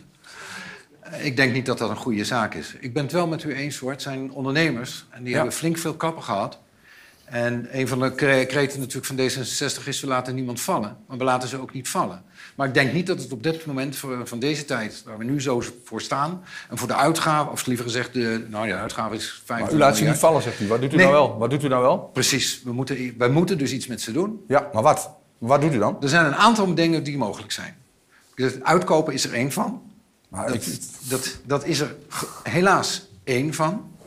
Eh, we zullen ze moeten helpen om een ander verdienmodel te gaan hanteren. Dus niet meer alleen maar die schaalvergroting, maar kijken of we daar ook iets mee kunnen doen. Ja, en ook de consument, ja, dat bent u dan allemaal, zullen daar ook wel eh, de gevolgen van proeven. Dus er zal ook wel meer betaald moeten worden. Bijvoorbeeld voor vlees. Dat is nu eenmaal zo. En ja, Harry, ik ben het daar niet mee eens. Ik, eh, ik denk niet dat wij eh, dit ongebreideld kunnen voortzetten. Harry. Rohaan, u staat hier in het midden, maar u, u had net eh, groen. Ja, Maar u klopt. staat zo mooi in het midden. Ik sta in het midden. Ja, nou, ik ik moet genuanceerder zijn, want u haalt nu één groot bedrijf eruit. Maar eh, de landbouw betaalt- bestaat natuurlijk uit een heleboel bedrijven. Ehm, toevallig werd ik gisteren geattendeerd op een artikel dat stond in de Nieuwe Oogst. Nu de crisis in eh, de, Oekraïne speelt, daar komt er heel veel graanproductie, alles komt daar vandaan. Wij lopen daar natuurlijk straks tegenaan. In, eind eh, 2023 zullen wij ook daar de gevolgen van zien. Het zijn ondernemers. En wij merken elke keer weer dat met name de agrarische sector eruit gehaald wordt als je het hebt over die CO2-uitstoot. En er wordt dan voorbij gegaan aan dat het inderdaad ondernemers zijn, maar dat er ook andere ondernemers zijn die vervuilen. Ik denk dat wij mee moeten kijken met die ondernemers, ze juist te moeten ondersteunen en juist te moeten helpen. U weet ook dat eh, het al bekend is dat er uitgerekend is dat in eh, 2030 er een enorme eh, vermindering is van de agrarische bedrijven. En dus degenen die er nog zijn, die moeten wij moeten helpen met ontwikkelen en in stand houden. Ehm, ik denk ook dat we voor ons eigen voedsel moeten gaan zorgen. Dat is, ook, dat is dus wel die biodiversiteit, dat je ook zegt van we moeten niet daar uit de Oekraïne van afhankelijk zijn. De, de boeren zijn afhankelijk van het gas, een aantal, hè, die de grote, ehm, eh, hoe heet het, ehm, de, de, de, met name de planten en andere landbouw. Dus ik denk gewoon dat wij moeten investeren in onze agrariërs. Maar dat Juist zeg ik omdat we het nodig hebben. Dat is ook ja, maar u, u richt zich nu alleen op van we moeten niet meer uitbreiden, omdat u het alleen maar over die enorme aantallen heeft. Maar ik denk als wij helpen op een goede manier de agrariërs en dat ze we in de gelegenheid brengen om ook inderdaad energie-neutraal en ook daar, dat we ze daarin ondersteunen en financieren, mogen ze wel uitbreiden. En dan heb ik het niet meteen over die mega, maar u haalt er nou één bedrijf uit, terwijl ik denk we moeten het ook hebben over die, al die andere agrariërs. in Maar we moeten, we moeten de boeren het perspectief bieden. Ja, maar daar ben ik met u eens. Ja, nee, maar dat, nou, dat blijkbaar niet. Want Nou, daar D66, ben ik heeft, met u eens. D66 heeft het perspectief bij de boeren volledig ontnomen. Ja. En dat vind ik heel jammer. Dat is echt, dat is echt een doodsteek geweest in de hele dat- discussie. Dat, is een andere Want- kwestie. Dat is en niet perspectief kun je ook krijgen met nee. perspectief kun je ook krijgen Nee, door de boeren voor te helpen, door ze een stukje steun te geven, een stukje ontwikkeling. Landschapsbeheer, be- landschapsbeheer is ook iets voor onze agrariërs. Als er iemand verstand heeft niet van landschap, met u eens dat is het onze agrariër D66 wel. dat voor elkaar heeft gekregen. Nee, nee, nee, nee, nee. Dat ben ik niet met u eens. Oh, u heeft er wel een strakke heel uitspraak veel. over gedaan. En, eh, ik wil nou niet meteen eh, iemand, iemand de schuld geven. Maar de Rabobank heeft er ook wel een rolletje in gespeeld. Maar D- D66 De Rabobank is niet van het CDA. eh, is niet van het En, En Nee, het niet van D66 is er echt mee naar buiten gekomen. Maar ik ben het met je eens dat we natuurlijk ze moeten ze helpen. Maar als we echt praten over uitbreiding. Overigens, wij zijn de tweede of de derde eh, leverancier eh, van landbouwproducten. Daar moet ik er ook wel bij zeggen. Er zitten heel veel bloemen ook nog bij. Dus die zijn moeilijk te eten. Wel bloembollen trouwens, die zijn wel te eten. Maar, eh, Tweede? Nee, maar Tweede? maar meneer Visser, Nou, meneer Visser, maar u- maar- u doet nee, net- nee, nee, nee, nee, als een boer, u doet net als een landbouwer. Nee, maar- de vissers er zin laten Hij blijft een- We zijn de tweede, dus ik, voor het betreft ons eigen voedsel, dat komt wel goed. Maar we hebben natuurlijk ook wel de taak om dat dat komt niet goed als wij nu maar gaan zeggen van eh, we gaan bezuinigen, Nee, nee, nee, nee. U ziet de ontwikkelingen wat er nu gebeurt in Nee, nee, Oekraïne. nee. Uitbreiden. De stelling was Daar uitbreiden. Ik zag, hebben we ik zag het wat emotie. Ja, maar ik Uitbreiden, er zijn, ook mensen, er zijn er zoveel die gaan stoppen in de komende jaren. Dus om het in stand te kunnen houden, zullen ook anderen, dat we niet willen dat er nog meer gaan stoppen, zullen we ook ergens wel de gelegenheid moeten bieden om uit te breiden. Ik zag wat emotie Ja, bij ik- Scholt. Ja, dat- emotie is er degelijk. Want het is, u doet net alsof of boeren allemaal tot megalomane grote megabedrijven willen uitgroeien. Dat is helemaal niet waar. Maar dat denk ik is- ook niet. Landbouw is... Wat zegt u? Maar dat denk ik ook niet. Nee, maar, maar dat is wel wat u steeds voorstelt. U Nee, gelijk schiet u in de. U, schiet gelijk- u schiet gelijk in de megastallen. Dat is helemaal niet aan de orde in de Hof van Twente. De menselijke maat is in de Hof van Twente zeker aan de orde. En En, dat kunnen boeren eens. ook in de Hof van Twente, want we hebben het tenslotte over de Hof van Twente, Maar best nog een stukje uitbreiden. Maar- Geef je daarbij perspectief met een stukje inkomen doen? met landschapsbeheer. Hoe wil je het doen? We hebben een areaal en het is niet meer dan het areaal wat we hebben. Hoe wil je het doen? Nee, We zijn- gaan dat niet uitbreiden. Het kan helemaal niet Ja, uitgebreid u gaat het niet worden. uitbreiden, maar wij zeggen juist omdat we wel willen helpen dat onze boeren het We moeten kunnen ze ook zijn. helpen. Dat is absoluut een feit. Vrees We gaan ze ook helpen. Ja, Ron, Is dit wel- is herken dit- je deze ja, discussie? Ja, eh, die discussie herken ik wel. Ja, Alleen ja. het is natuurlijk zo dat het kabinet natuurlijk wel in heeft gezet... op het staat niet zwart op wit... dat die veestapel toch echt wel kleiner moet. Ja. Daar, ga- daar, Ja, daar, ik- gaat maar heel dat- veel, daar moet heel veel geld naartoe. Ehm, en eh, dan is er een discussie eh, of je wel of niet gedwongen moet worden, kunnen worden om uitgekocht te worden. Maar als ik u hoor zeggen, ja, uitbreiding moet kunnen... dan is de vraag wel of dat wel het eerlijke verhaal is. Want het staat wel een beetje haaks op het kabinetsbeleid... Ja, maar- wat, wat, wat niet gericht is op uitbreiding van, eh, van boeren. Ja, maar daar heeft ook mijn CDA aan bijgedragen in het landelijke. Daar hebben we ook wel wat discussie over. Nou, het CDA zit in dat kabinet. Ja, hè? dat klopt, heeft u gelijk aan. Maar daar hebben we ook wat discussie over. Want daar is die mismatch met onze agrariërs in de, op het platteland. Daar moeten wij. Er is best wel ruimte voor een stukje uitbreiding. Er stoppen een aantal boeren en, en daar blijft ruimte over voor uitbreiding. En uitbreiding is meer dan alleen maar meer dan veer. Want dat wilde ik net ook zeggen. Want daar, u gaat naar die megastallen toe. Uitbreiding van een landbouwbedrijf kan ook betekenen uitbreiding met een stukje landschapsbeheer. Met een stukje ander perspectief. In Hof van Twente hebben we heel veel boeren die een stukje toeristische eh, eh, activiteit erbij gaan doen. Dat soort uitbreiding. Maar dat, is niet landbouw. Boeren moeten kunnen blijven uitbreiden. Boeren kunnen ook, met- kunnen ook iets toeristisch gaan doen. Ja, Het maar dat gaat is over ook- de boeren moeten kunnen nog- maar dat is waar ik net ook steeds zei. U ging met uitbreiden, heeft u het per definitie over meer koeien, meer gaan stallen. Ik kom even hier staan hoor. Eh, even, even André de Visser nog en dan gaan we ook naar de andere lijsttrekkers. Nou, ik zou niet weten wat ik nou nog moet toevoegen. Want ik bedoel, Nee? laten we eerlijk wezen, we hebben het Dan gaan we naar de andere Ik heb het lijsttrekkers. helemaal mee eens. wa- wat u We gaan eens even horen eh, wat. Gaat u even terug? Ik zag u ook, meneer Fred Rijkens. Ja, nee, nee. Terug naar de stal. Geef even de gelegenheid, eh, Fred Ja. Rijkens. Nou, ik, ik vind, wat ik het kwalijke vind, is dat in deze raad drie fracties zijn die eh, eh, zich nadrukkelijk distancieren van wat er in de Kamer gebeurt. En hoe eerlijk is dat? Hè? Wat, wat, wat we zien, eh, de D60 heeft gedaan met de helft van de veestapel. Ze distancieren we ons van CDA en VVD zeggen van ja, we moeten kunnen uitbreiden. Ik vind het een dilemma, want de boeren die nu nog in dit systeem zitten, eh, daar nee tegen zeggen ga- gaat mij iets te ver. Alleen om nu nog als politi- politieke partijen te gaan zeggen van wij zijn voor uitbreiden, dan denk ik bij mezelf, dan zijn we bezig met wat we bij de toeslagen eh, dingen hebben gedaan en met Groningen hebben gedaan, naar dat de boeren heel toe. raar. Dan, ja, maar ik vind dat echt waar. Wij beloven boeren dat er in die zin nog perspectief is en daar geloof ik niet meer in.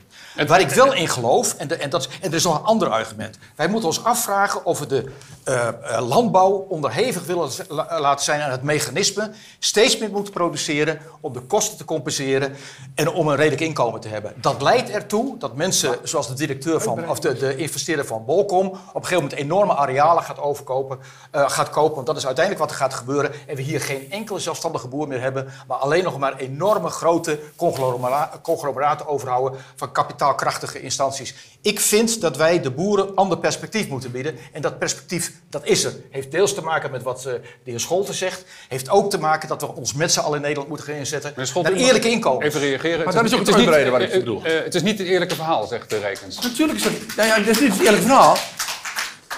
Ik, ik begrijp niet zo goed waarom dat, dat is niet... de PvdA hoor. Hoef je geen zorgen over te maken. Nee, nou ja, dat gaat, dat gaat helemaal niet. Duidelijk. Kijk, het eerlijke verhaal... De vraag is, moeten boeren kunnen blijven uitbreiden? Natuurlijk is dat wel een eerlijk verhaal. Dat moet, dat, wij vinden dat dat moet kunnen. Alleen uitbreiding wordt gelijk gezocht, en dat, zegt, dat hoor ik hier de Rijkens ook, maar heer Rijkens ook wel zeggen. Uitbreiding van koeien, doorgroeien naar megastallen, die megaproducten. Uitbreiding moet je wat breder zien, breder zien hier op het landbouw, en daar bent u het mee eens. Dat is wat ik, daarom heb ik ook niet per defini- definitie hier rood tegen gezegd. Uitbreiden in de breedste zin van het woord. En dat mag ook, en dat mag zeg- ook, mag maar ook zeg- best met een aantal koeien. Maar dat mag, en dat mag ook wel met een aantal koeien. Ja, maar dit dan als meneer iedereen- Rijkens. Laat Ik het even- Maar van de VVD. het is niet zo makkelijk om dat in één woord te vervatten. Ja, zal ik het proberen? Ja, doe dat eens. Laten we eerst even, wat ik belangrijk vind, eh, we praten hier over boeren. Ik laat even wat perspectief zetten. 60% van het land in eh, Hof van Twente is landbouwgrond. 60% van het land. Daar werken 500 boeren. Dat klopt. Dat zijn 500 gezinnen, dat zijn 500 mensen. Die wonen hier soms al generaties lang. Dan hoor ik D66 zeggen, oh, die moeten we uitkopen of we moeten we iets anders voor bedenken. Het zijn mensen, oké? Zullen we daar even eerst... Nee, dat wil ik... Nou, we doen net alsof het geen mensen zijn. het zijn mensen. nee, nee, dat is één. nee. Ik ben even aan het woord. U mag straks. U mag straks. Scheepman, ik kom zo bij. Als we, als we over groeien hebben, dan moeten we ook anders leren denken. We hebben het niet per se over groeien dat je meer koeien neemt, zoals we dat altijd zouden doen. Als we, de van Twente is al veel verder, dat weet u ook. Ons Mineral Valley project is ontzettend vooruitstrevend en enorm succesvol. Dat doen we samen met de boeren. We doen alles overigens samen met de boeren. Ook als ze stoppen zijn we er. Dan helpen we ze, eh, zodat ze bijvoorbeeld een woning kunnen bouwen of dat ze er kunnen blijven wonen. Maar uitbreiden moet je veel meer zien in natuur-inclusieve landbouw. Dus dat betekent dat je wellicht zelfs, want natuurlijk moet, want het, ik, nog even een cijfertje, 90% van onze agrariërs zijn veehouders. Dus dat, wij hebben nogal wat vee. Dus de uitdaging is groot bij ons. Ja. Maar je kan ook denken bijvoorbeeld aan stikstof opslaan in de grond. Hè? Dat is een model wat we aan het onderzoeken zijn. Dat betekent dat je boeren gaat betalen voor het feit dat ze ons gaan helpen met de opslag van stikstof. Onderzoek doen naar bodemverbetering. Er zijn allerlei modellen denk- denkbaar waar boeren een ander verdienmodel kunnen krijgen. En het laatste ding wil ik zeggen. De boeren gebruiken ons land, maar ze onderhouden het ook al eeuwen. Hè? Als de boeren het land niet zouden onderhouden, dan zag het er heel anders uit dan als jullie fietsen door de natuur. Ik wil even een één beweging. Ehm, Marianne, Marianne Hutte. Ja, ehm, volgens mij is... Dankjewel. Volgens mij is de hele vraag, wat wordt hier verstaan onder uitbreiden? Eh, ik heb de stelling opgevat, eh, meer dan alleen uitbreiden qua vee, maar opvatten eh, wat voor soort onderneming je dan ook wil. Ik denk dat uiteindelijk de inkomens van boeren een derde, een derde, een derde gaan worden. Van landschapsbeheer, eh de andere kan bijvoorbeeld zijn een camping of wat dan ook. En dat je daar de agrariërs mee ondersteunt. Ik kom zelf uit een boerenfamilie, opgegroeid in een veeteeltboerderij. Ehm, als er één iemand zuinig is op de omgeving, dan zijn het die agrariërs zelf. En als je die ook maar ietsje helpt, een ietsje financiën geeft, dan stoppen ze met alle liefde in die dingen die wij zo belangrijk vinden. En ik denk dat we dat dus echt moeten ondersteunen. En die hebben tijd nodig, want dat vraagt ook innovatie. Maar even, even En- terug naar, want dat was een heel concreet punt hè, eh, van D66. Er ligt een aanvraag voor de uitbreiding van eh, varkensbedrijven op de grens van Diepenheim en Neder voor 4000 eh, varkens. Zou die toestemming er moeten komen wat, wat het CDA betreft om uit te breiden? Als het past binnen wet en regelgeving, zou u zien Dan waarom. moet je. Ja, maar, Ja, ja, dan moet je. Ja, Ja. ja, ja. Als het past binnen eh, VVD? Ja, absoluut, tuurlijk. Ja, En je moet ook kijken waar je het over hebt, hè, 4000 varkens. Ik weet niet of u wel eens in, in, in schuren bent geweest waar 4000 varkens zijn. Dat is niet zo enorm groot hoor. Dat valt enorm mee. En ik ken mensen die hebben... Ja, dat valt enorm mee. Ga daar gewoon eens kijken. Wat weten jullie er nou van? Ben je er ooit geweest? Nou, Ja. kom op. Ja, nou ja, is dat is geweest? 4000 varkens. Heb je wel eens. Ik heb wel eens een discussie met een van jullie mensen gehad. En toen ging het over duizend koeien. Heb je wel eens duizend koeien bij elkaar Ja, ook gezien? ja. Dat is wat Goeiedag. 4000 varkens hoor. Ja, dat is wat, net vanuit Haags nou ja, perspectief misschien interessant is, eh, Ron, in Den Haag praat- wordt alleen maar gepraat over inkrimping van veestapel, of het nou met 50 of 30 of 10 procent is. Er is zelfs een VVD-minister nu verantwoordelijk voor natuur en stikstof. En hier in deze gemeente wordt gepraat over uitbreiding al of niet van Ja, het is een beetje een, een, een opvallende eh, ervaring op zondagmiddag. Ja, maar dan moet je ook realiseren dat...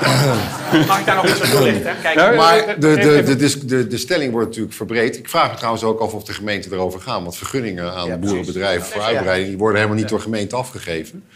Die worden door de provincie afgegeven. Dus, maar goed, dat even terzijde. Maar ja, het gaat om heb- omgevingsvergunning, die moet de gemeente verlenen. Ja, ja. Maar het punt, punt is natuurlijk dat er altijd gekeken wordt, althans vanuit Den Haag, naar een relatie tussen een boerenbedrijf en de natuur in de omgeving. Dus, dus je kan dit niet loszien van de vraag in hoeverre een boerenbedrijf, of het nou een varkensstal is of een, of een koeienstal, in hoeverre die eh, een bedreiging is voor de natuur in de omgeving met stikstofdepositie. Daar gaat het uiteindelijk natuurlijk om. En ja, bestaande wet en regelgeving, daar heeft de rechter natuurlijk al vaker een streep doorheen gehaald. Nee, maar- hè. Dus, dus Ja. dat is Een boer is onderdeel van de natuur, Ron. Dat is Ja. al eeuwig. Hij is niet tegen de natuur. Hij is onderdeel van de natuur. En zo moeten we hem benaderen. Maar is het er is geen oorlog tussen de natuur en landbouwers. Maar ik wil, dat is waar, maar tegelijkertijd is die stikstofdepositie wel een bedreiging voor de natuur in de omgeving. Ja, dat klopt. Daarom En daar, moet daar zal je dan toch wat mee moeten als Zeker, maar als je bestuurder. dan kijkt naar zo'n vergunning afgeven, wel, de eisen die gesteld worden aan, aan dit soort ver- ver- verbouwingen en vergrotingen, die zijn enorm. Hè, luchtwassers, allerlei systemen waardoor er minder stikstofuitstoot komt, ook uit die stallen. Dus ik bedoel, we zijn daar natuurlijk echt wel mee bezig. Maar misschien is het wel goed om het begrippenkader waar we hier gebruik van maken, dat we dat raad eens aanscherpen. Want als we het over uitbreiding hebben, dan verstaat iedereen en elke boer er ook onder meer land, meer koeien. Als wij dat nu nuanceren, vind ik dat mooi, maar dat zouden we ook in de raad moeten doen. Ja, dan zouden we, als we echt perspectief aan boeren willen bieden, en daar gaat het mij om, want die 500 boeren nu zijn over 10 jaar 400 en daarna 300 en daarna 200 en daarna nog 10. Als wij perspectief willen bieden, dan moeten we ophouden met verkeerde termen te gebruiken voor wat we bedoelen, waardoor het lijkt dat er verschillen zijn. Dan moeten we met z'n allen eens gaan nadenken, hoe bieden we echt perspectief aan boeren? En uitbreiding moeten we dan goed formuleren, niet als meer koeien, meer land, maar hoe Niet kunnen alleen we als, niet alleen inkomsten als, verbeteren? Niet alleen als. We gaan even kijken naar de... Nee, nee, even kijken... Dat- was de nuance, niet alleen als. Ogenblik. Even kijken of er in de zaal nog een eh, vraag is, eh, specifiek gericht aan een van de lijsttrekkers. Hier vooraan. En u, u- u moet even wachten op een microfoon. in beweging. Ik heb er toch wel een beetje moeite mee hoor, met dat mooie verhaal van... eh, U moet even wachten op een microfoon. Er, er komt een microfoon aan, want het wordt, eh, bovenin. het wordt live uitgezonden. Bovenin is ook een vraag. Ja, ik, een kom, vraag. ik kom bij u. Je ziet deze. Even kort een vraag aan eh, en wilt u even erbij vertellen aan wie u de vraag stelt. Eh, mijn vraag is aan eh, ja, CDA, VVD, gemeentebelangen. Eh, ik woon hier al 40 jaar in deze omgeving. Ik heb de landbouw eigenlijk alleen maar achteruit zien gaan. En jullie hebben nu over leuke praatjes met de biodiversiteit. Hè, wordt dat een beetje op gaan krikken. Weilanden hier in deze omgeving. Ja, dat is geen natuur meer. Dat zijn monocultuurtjes. Ja, en dan wordt het echt een hele klus ja, om daar nog wat van te maken. Want ja, als ik hier een toerist zou zijn, dan zou ik zeggen van jongens, eh, is het leuk om in deze omgeving te fietsen? Jullie, jullie zeggen wel allemaal, het is allemaal prachtig. Maar het is helemaal niet zo prachtig. En uw vraag is? Nee. Uw vraag is? Mijn vraag is, Ja. hoe, hoe wil je dat de komende 20 jaar een beetje verbeteren? Edwin Scheperman. U weet zeker dat u hier Beetje. woont? U weet zeker dat u hier woont? Alsjeblieft, zeg. We- weet, weet je waarom het hier zo mooi is?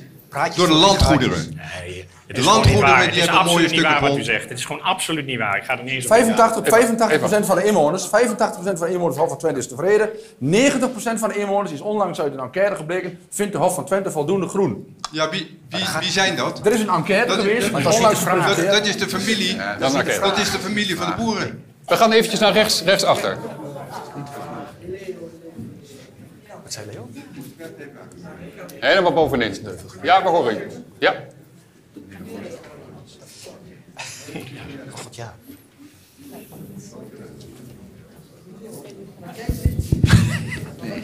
precies. Meneer de voorzitter, ik heb een vraag aan alle zeven eh, fractievoorzitters daar. Of Wie weet van die zeven personen wat de grootste boer van Hof van Twente is? In de oppervlakte? Twikkel. Twikkel. Twikkel. Mag je wel Ik zou het niet weten. Ik weet het ook niet. Nou, dat was een scherpe vraag, meneer. Er is, komt geen antwoord op. Weet En- niemand er? Nee, en nu? Dat vind ik treurig. Ja, Maar dat is de Rabobank. Ja. Dat is ook het grootste probleem. Edwin Scheperman zegt dat het ook het grootste probleem is. Ja, ja, vind ik wel, ja. ja. Want? Dat is een beetje buiten deze discussie. Nou ja, de Rabobank heeft natuurlijk eh, tientallen jaren lang eh, te kust en te keur eh, bedrijven gefinancierd. Tot over de kop, en in de nek en ga zo maar door. Alles kon, alles mocht. En nou zijn ze niet thuis. Ik bedoel, dat is even de korte samenvatting. De Kamervoorzitter zou zeggen, je mag niet debatteren over mensen die zichzelf niet kunnen verdedigen, die niet aanwezig zijn in het debat. Hè? Dat maar... Misschien zit de Rabobank wel Nee, in nee, de nee, zaal. nee, nee, nee, nee. Dat doen we niet, dat doen we niet. Als die zo machtig zijn hier, dan zullen ze toch wel in de zaal zitten. Ja, ongetwijfeld. Maar dat gaan we niet doen, eh, Ron. Dat, Oh, is, dat is uitlokking. We maken een einde aan deze ronde. Zometeen eh, ronde drie over eh, wonen en bouwen. Actueel onderwerp natuurlijk ook. Maar eerst zingt we even Vogelgroep Of Course.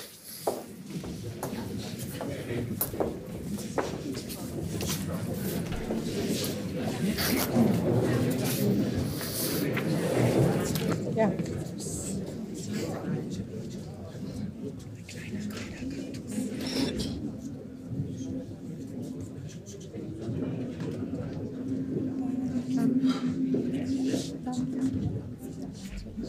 Para, para, para, para,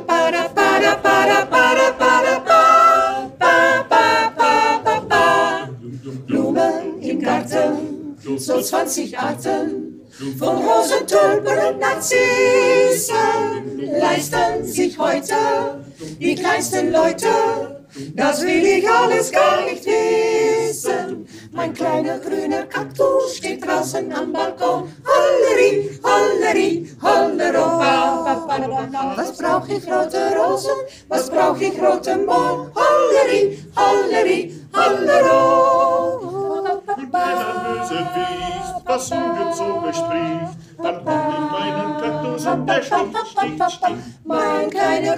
Kaktus steht draußen am Balkon. Holleri, holleri, hollero. Man findet gewöhnlich die Frauen ähnlich, die Blumen, die sie gerne tragen. Doch ich sag täglich, das ist nicht möglich.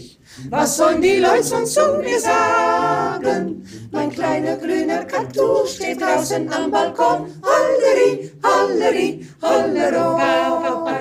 Was brauch ich rote Rosen? Was brauch ich rote Mohn? Halleri, halleri, hallero. Und der pa, pa.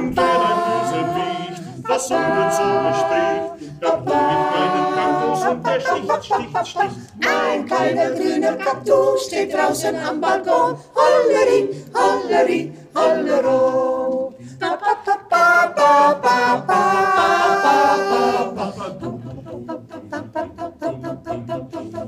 Heute um vier klopft an die Türe. Nano Besuch so früh am Tage. Es war Herr Krause vom Nachbarhause. Der sagte, seien Sie, wenn ich frage. Sie haben doch einen Kaktus auf Ihrem kleinen Balkon. Holleri, holleri, hollero. Der fiel soeben runter. Was halten Sie davon? Holleri, holleri, hollero. Der Vogel aus Gesicht, aus Glauben oder nicht, das weiß ich, dass ihr kleiner grüner Kaktus sticht. Bewahren Sie Ihre Kaktus gefälligst anderswo. Holleri, holleri, hollero. Pa, pa, pa, pa, pa, pa, pa, pa, pa, pa, pa.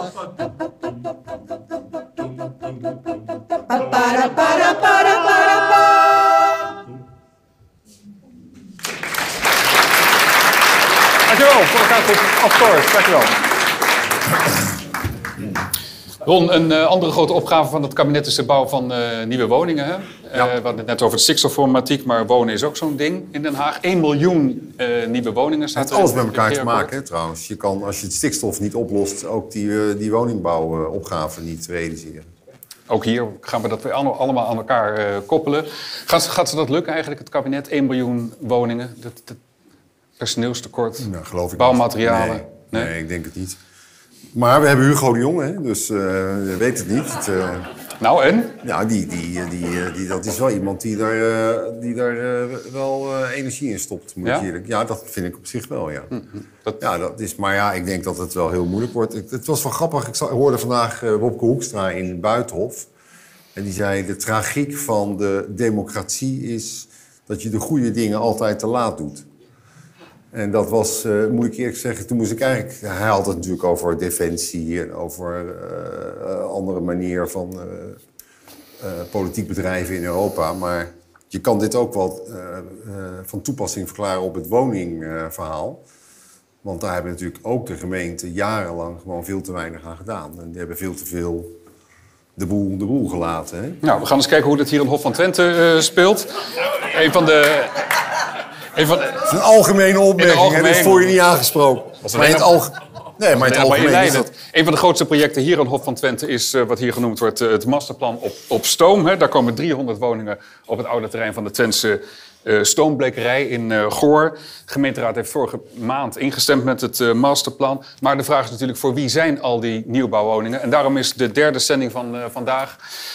Bij woningbouw moet voorrang gegeven worden aan de eigen bewoners.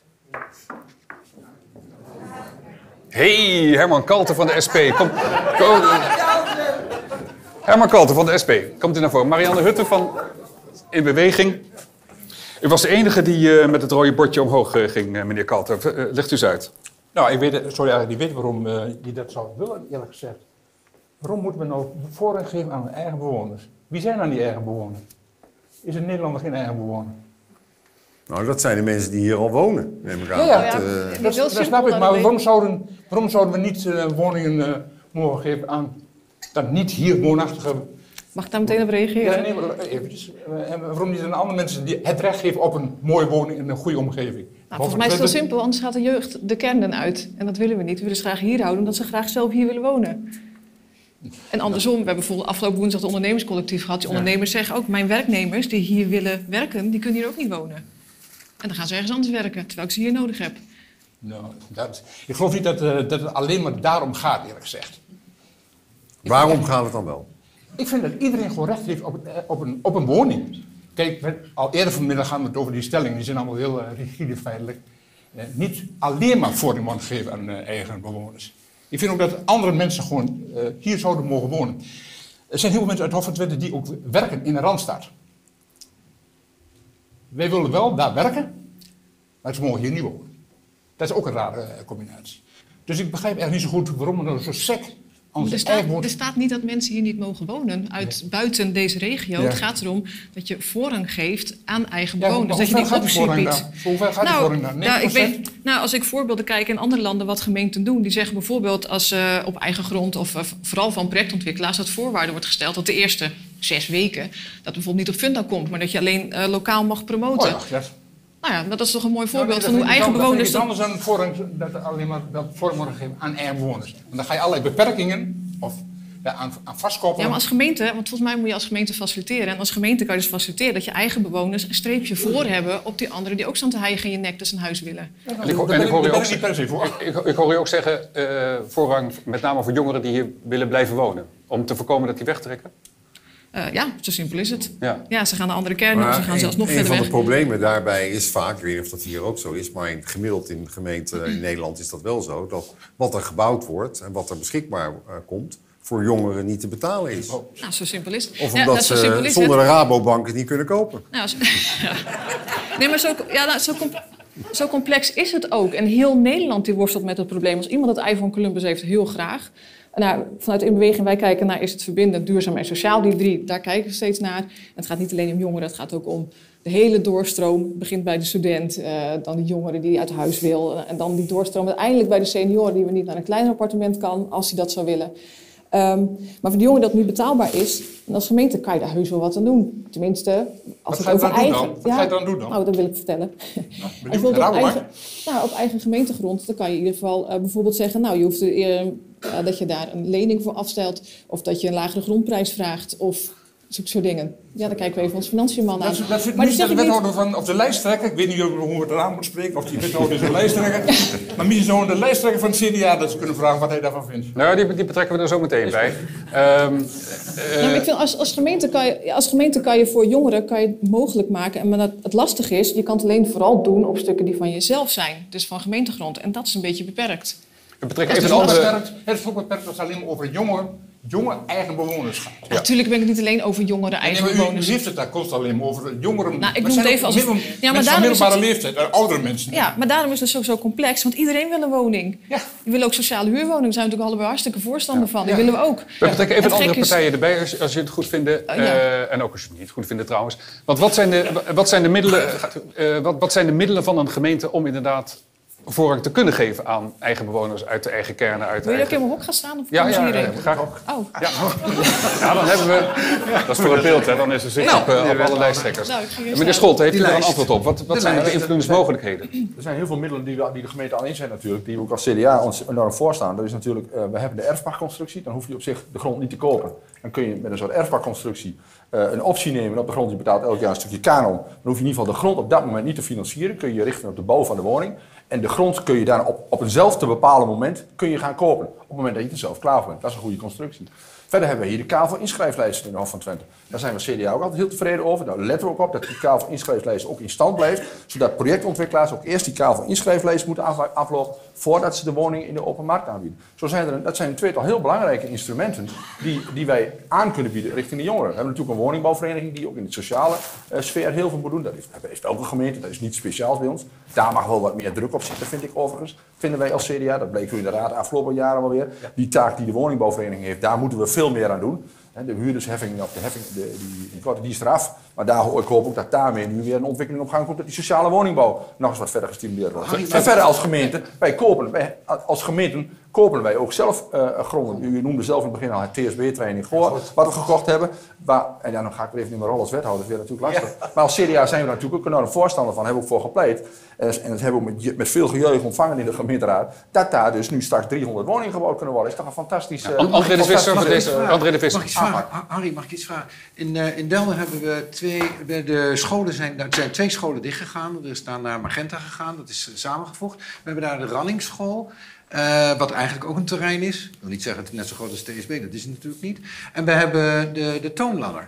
En dat is nu al vier jaar. En ik begrijp niet dat daar niet gebouwd kan worden. Wat is daar de reden van? Ik ben dus zo... Ja, ik kijk je nu even aan als wethouder. Kan er niks aan doen. Nee, maar eh, als, heeft André Scholte daar een antwoord op als lijsttrekker? Ja, maar er wordt gebouwd binnenkort. Er wordt gebouwd. En als, binnen- als lijsttrekker, als CDA hebben we in ons programma staan dat die vrijgekomen plekken waar scholen vrijkomen, daar die wil gaan gebruiken. Had je dat niet eerder kunnen doen dan? Ja, Want het ligt al vier, vijf niet- jaar staan. niet eerder vrij, meneer De Visser. Het kost wat tijd, meneer de Visser. Ja, ja, nou, maak dan ja, een beetje tempo. Waar, waar, waar- ja, Ik heb een vraag aan de, aan de heer de Scholten. Van of hij eh, voorstander is van lagere grondprijs voor eh, jongeren. Bij de aanschaf van de woningen. Dat werd net geopperd door, door mijn collega eh, van In Beweging. Maar wat vindt u daarvan? Is dat een goed idee? daar- Daar staan, daar staan wij niet op direct bij te juichen om een lagere grondprijs alleen voor jongeren te gaan doen. Je moet het Om voor slimmere dan? oplossing. Je Nee, moet een slimmere oplossing bedenken. Wij als CDA pleiten bijvoorbeeld voor een combinatiewoning. Jong en oud bij elkaar in je woning. Dat is echt. En de oudere wil graag onderin blijven zitten met een tuintje. De jongere heeft in het begin toch geen behoefte aan een tuin, kan bovenin zitten. Die, slimme oplossing, die moeten wij bedenken. We moeten het niet zoeken in lagere prijzen. Want dat is niet van deze tijd. Je kunt niet met lagere prijzen gaan werken. Dan is het helemaal onuitvoerbaar. Annie, kom aan. Ja, wij vinden ook, want het TSB-terrein is ook heel mooi, maar we moeten ook op gaan passen dat we het niet voor de luxe gaan bouwen. En dat is ook wel iets wat we soms toch ook wel zien. Ja, ja wethouders dat ook mooi vinden, daar scoor je mooi mee. Maar wij vinden ook dat je ook in alternatieve woonvormen, eh, verpla- ja, verplaatsbare woonvormen, eh, dat we daar ook meer op gaan inzetten. Dat hebben wij ook in ons programma staan, de tiny houses, maar ook eh, veel meer flexibel daarop inspelen.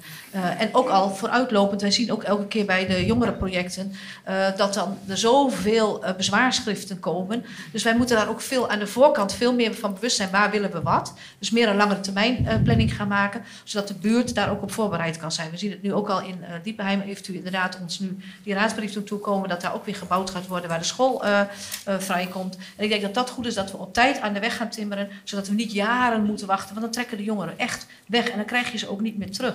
En we willen juist die vergrijzing tegengaan. Ja. Ron, je, je- je had het net over Hugo de Jonge. Hij is minister van de Ruimtelijke Ordening ook. Hè? Je hebt nu het afgelopen uur... Bij het Volkshuisvesting en Volkshuisvesting en ruimtelijke ruimtelijke ordening. Je hebt eh, het afgelopen uur gehoord inderdaad al die claims die gelegd worden op die ruimte. Eh, men wil uitbreiding van boeren, men wil uitbreiding van natuur. Er moeten meer woningen komen, de Ja. weilanden moeten groen blijven... en de biodiversiteit Ja, moet eh, nou ja, vergroot worden. dat kan allemaal niet, Wat is, Niet- niet kun je dat een beetje vanuit. Haags perspectief duiden, Ron? Nou ja, dat je hier ziet dat er natuurlijk weer te veel op elkaar gestapeld wordt. En dat moet allemaal kunnen. En het, en het punt is natuurlijk wel, even los van deze gemeente... dat je een enorme discussie gaat krijgen, eh, ook in de politiek landelijk en in het kabinet... over het gebruik van de ruimte en, eh, en het beslag van de ruimte. Eh, want het is, zoals Johan Remkes zei, niet alles kan. En ik heb hier een beetje nog het idee dat, dat, dat de mensen hier denken dat dat misschien toch nog wel zo is. Ja. En, Ik vind, Nou, het is een open vraag, hè? Vier jaar afjuichen. Ik vind trouwens dat een één belangrijk probleem voorbij gaan, waar we eigenlijk nog geen oplossing voor hebben. Wat je ziet is dat er een concurrentiestrijd ontstaat die veel groter dan ooit geweest is. Dat in de Randstad je huis verkoopt voor 8 ton en je hier een huisje koopt van 3 ton.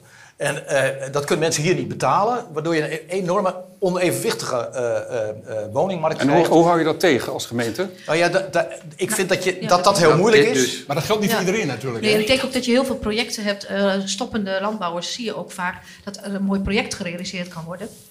Waar je juist hem ook een aantal jongeren juist hem de gelegenheid geeft Ja. om te bouwen. En ik denk als wij dat faciliteren, dan kun je wel die ruimte gebruiken. Er zijn best wel heel veel panden nog en schuren en alles wat leeg staat. Zodat je niet met die ruimte en dat je dus daar niet één grote woning op gaat zetten. Wat inderdaad voor ik weet niet hoeveel miljoen eh, verkocht kan worden aan iemand eh, uit het westen. Maar dat je dan juist hem gaat investeren. maar hoe voorkom je dat? Hoe sluit je die, eh, de markt hier af voor iemand met, eh, met meer Niet- geld uit het westen? Niet- Of eh, voor beleggers? Ik geloof dat Maar de VVD... de Hoe hou, je, hoe hou je beleggers die de prijs opdrijven een beetje op afstand? twee- Er zijn twee Hoe doe je dat? regelingen. Er zijn twee regelingen. De eerste is de zelfbewoningsplicht op de nieuwbouw. Klopt. Die is al geldig. Dat betekent dat bij alle nieuwbouw kunnen we mensen verplicht stellen om er zelf te gaan wonen. Dat hebben jullie hier in de gemeente ook al ingevoerd. Ja, in de nieuwbouw hebben we dat al ingevoerd. Er is nu een wet in de maak, dat zul je ongetwijfeld weten, die ook waarschijnlijk zelfbewoningsplicht voor bestaande bouw mogelijk gaat maken. Dat zou ook kunnen betekenen dat we bepaalde wijken kunnen afschermen voor beleggers. Want het is helemaal waar, beleggers is gewoon een groot probleem aan het worden. Maar die kopen gewoon koopwoningen op en dan maken ze huurwoningen van. En dat kan nuttig zijn,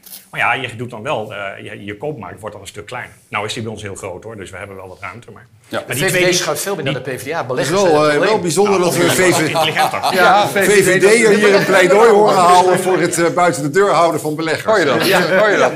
Ja, je maakt vind je dat verrassend?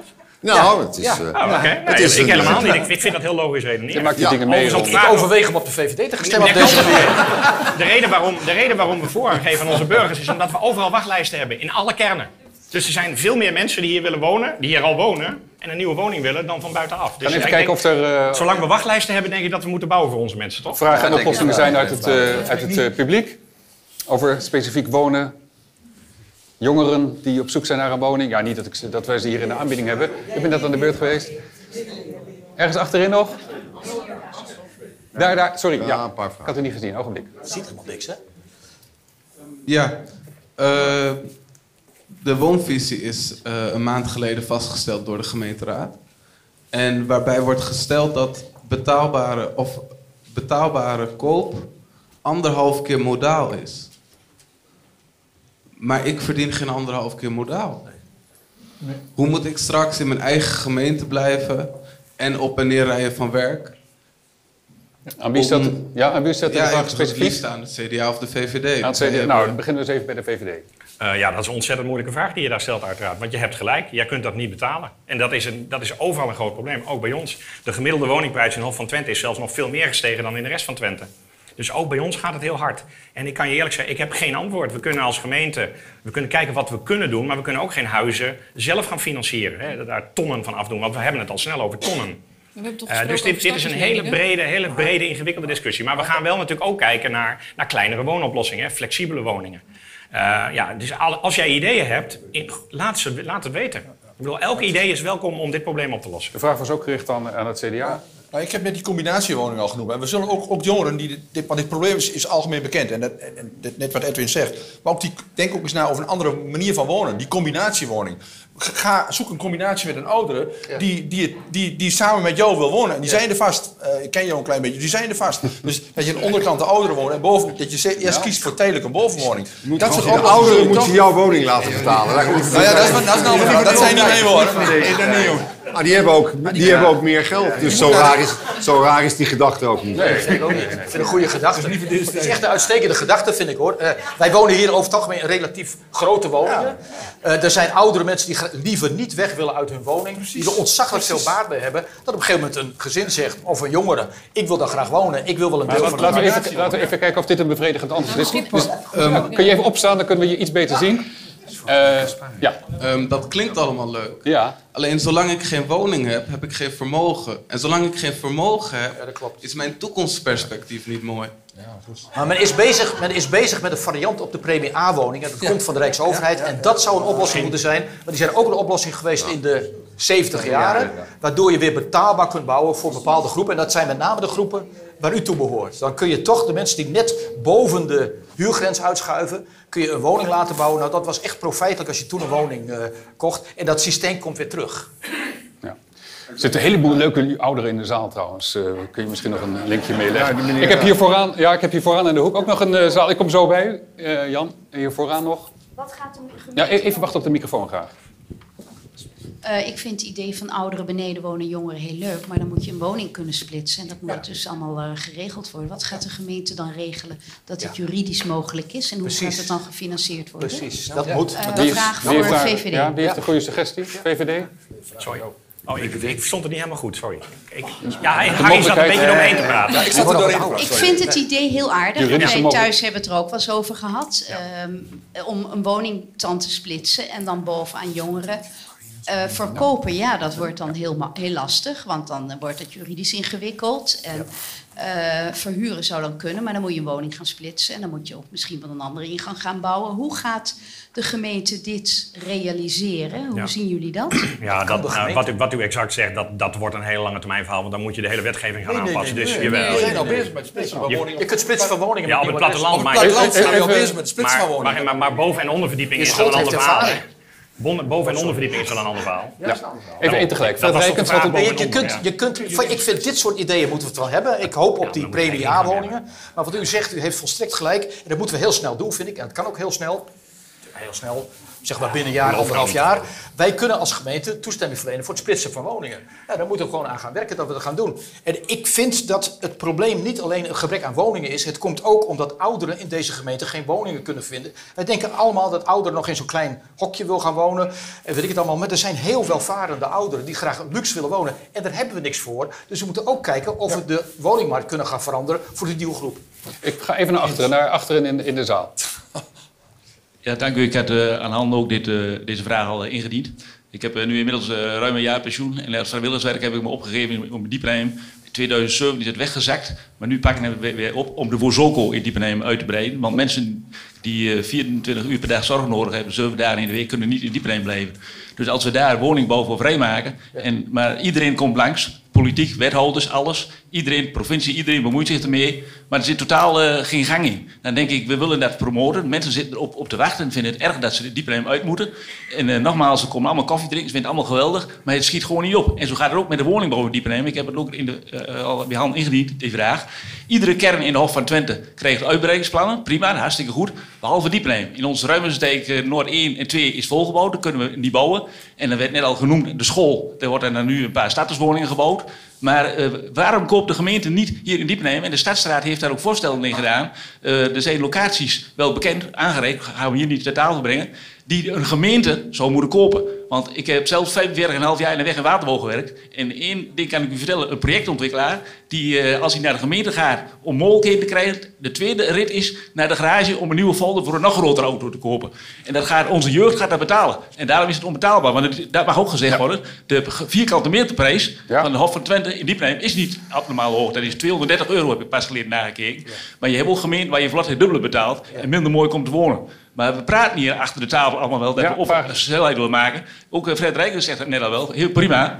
Maar eh, het, het gebeurt er gewoon niet. Provincie, het is allemaal, en er wordt allemaal weer, ja, corona dit, corona ja. dat. Maar Ja. het schiet voor geen meter op. En bij uh, Diepneem zijn er wel meer... Vraag is duidelijk. Vra eh, gemeente grond, opkopen voor woningbouw. Nou, ik, ik wil wel wat leuks zeggen. De VVD wil ze wel hard gaan maken. We hebben bij eh, het eh, Diepenheim Noord, waar gebouwd is, daar hebben we grond. En de VVD wil ze hard gaan maken om daar eh, woningen te gaan bouwen. Annie Roha nog? Ja, er is ook behoefte inderdaad aan uitbreiding bij het Ja, dat zullen er tientallen zijn. Dat hebben wij in ons programma ook opgenomen. Want we hebben ook gezegd, we moeten die doorstroom krijgen. De ouderen die Ja. doorgaan, dan komen er huizen Ja. vrij voor de jongeren. Ook betaalbare woningen, want die zijn er wel inderdaad. Ja. Klopt. Ron, eh, we, gaan, eh, we gaan naar een afronding eh, toe. Gemeentebelangen. Eh Ron, kom even Ja. dichterbij. We gaan zo langzamerhand naar een afronding eh, toe. Bij, bij woningbouw moet je natuurlijk ook gezien de actuele situatie hebben over de opvang van, eh, van vluchtelingen. Ja. Eh, want daar zie je ook de druk op gemeenten ontstaan natuurlijk om eh, eh, eh, ruimte voor vluchtelingen uit de Oekraïne vrij te maken. Zie je dat eh, gebeuren in het land? Nou, dat is wel opvallend. Je ziet daar ook dat politiek eh, daar eh, veel minder eh, omstredenheid is, als ik het zo mag zeggen. Dan bij Dan Afghanen bij, bijvoorbeeld? dan, ja. Eh, Het is feitelijk natuurlijk ook zo. eh, er wordt altijd gepleit voor opvang in de regio. En dan wordt dan nu gewoon gezegd... ja, maar nu zijn wij zelf de regio. En dat zie je dus bijvoorbeeld... ik- Van de week eh, hadden we het Radio 1-debat eh, met Leefbaar Rotterdam. Nou, dus een partij die over het algemeen heel terughoudend is... als het gaat om opvang van vluchtelingen. Die nu eh, in Rotterdam eh, eh, gewoon zegt... ja, natuurlijk moeten wij af, eh, Oekraïners eh, gaan opvangen, ook in Rotterdam. Dus je ziet dat die discussie een beetje uit het politieke links-rechts eh, eh, getrokken wordt. En dat er een vrij grote bereidheid is bij politieke partijen, van links tot rechts, om eh, vluchtelingen op te vangen. Dus ik was wel benieuwd hoe dat, hoe, hoe dat hier ligt eigenlijk. Ja. Heb je daar nog tijd voor? Nou, ik zie bijna heel, heel bedenkelijk kijken.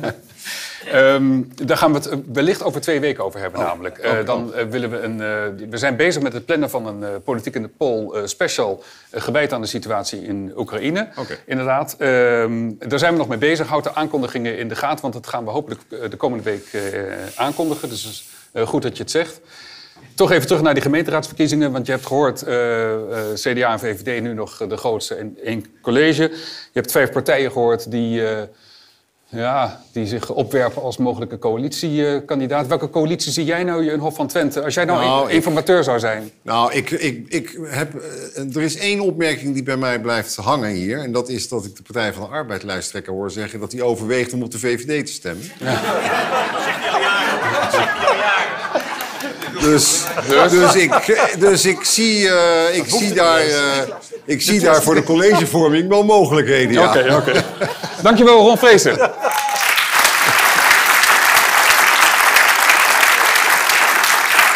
Jij krijgt, eh, jij krijgt een boek eh, van eh, Boekhandel Lovink. Dat gaat Marianne jou zo meteen overhandigen. En het boek, dat mag nu. En het boek van de Ron Vreesen zelf, 8 jaar, eh 8 uur, zo heet het, is eh, zo meteen verkrijgbaar in de foyer. Ook te signeren door eh, Ron. Ehm, zij krijgen, ja, Ron Vrezen krijgt het boek. Nee, u krijgt straks de, u krijgt straks de, de, de stemmen eh, op eh, 15, 16 eh, en 17 maart van het publiek hier. En als u meer wilt weten nog over de lijsttrekkers en hun standpunten. De gemeente heeft een prachtige verkiezingskrant uitgebracht. Die ligt hier ook. Allemaal eh, standpunten, en niet alleen over cultuur, maar bijvoorbeeld ook hoe de partijen staan ten opzichte van een vuurwerkverbod, karbietschieten. Dat is eh, ook een van de belangrijke thema's hier, eh, Ron. Ehm, ik vertelde al eh, dat- we van- vanwege de situatie in de Oekraïne bezig zijn met de organisatie van een extra ingelaste politiek in de poll. Dat zijn we nu al, al aan het doen. Houd die aankondigen in elk geval in de gaten. Want net als de opbrengst van vandaag gaat de opbrengst dan ook, als het allemaal doorgaat, naar de vereniging Hof van Twente eh, Kiev. Ik dank u voor uw eh, komst. Ik moet even kijken of ik iets vergeten ben. Ik dank mijn gasten natuurlijk ook allemaal, de lijsttrekkers eh, die straks de strijd aangaan. Uh, Madee Scheurs voor de techniek. Alle, nee, nee, nee, we gaan afsluiten. De mensen van de, van de streamingdienst ook, hartelijk dank voor... Volgens mij is het allemaal gelukt ook, technisch. Ja, heel goed. En deze uitzending blijft nog tot aan de verkiezingen te zien via de link op de site van de gemeente Hof van Twente. Woensdag 16 maart mag u dus kiezen voor de gemeenteraad en in sommige stemlokalen ook de twee dagen daarvoor. En we hopen dat dit debat, we hopen dat dit debat heeft bijgedragen aan uw keuze. Veel succes daarbij.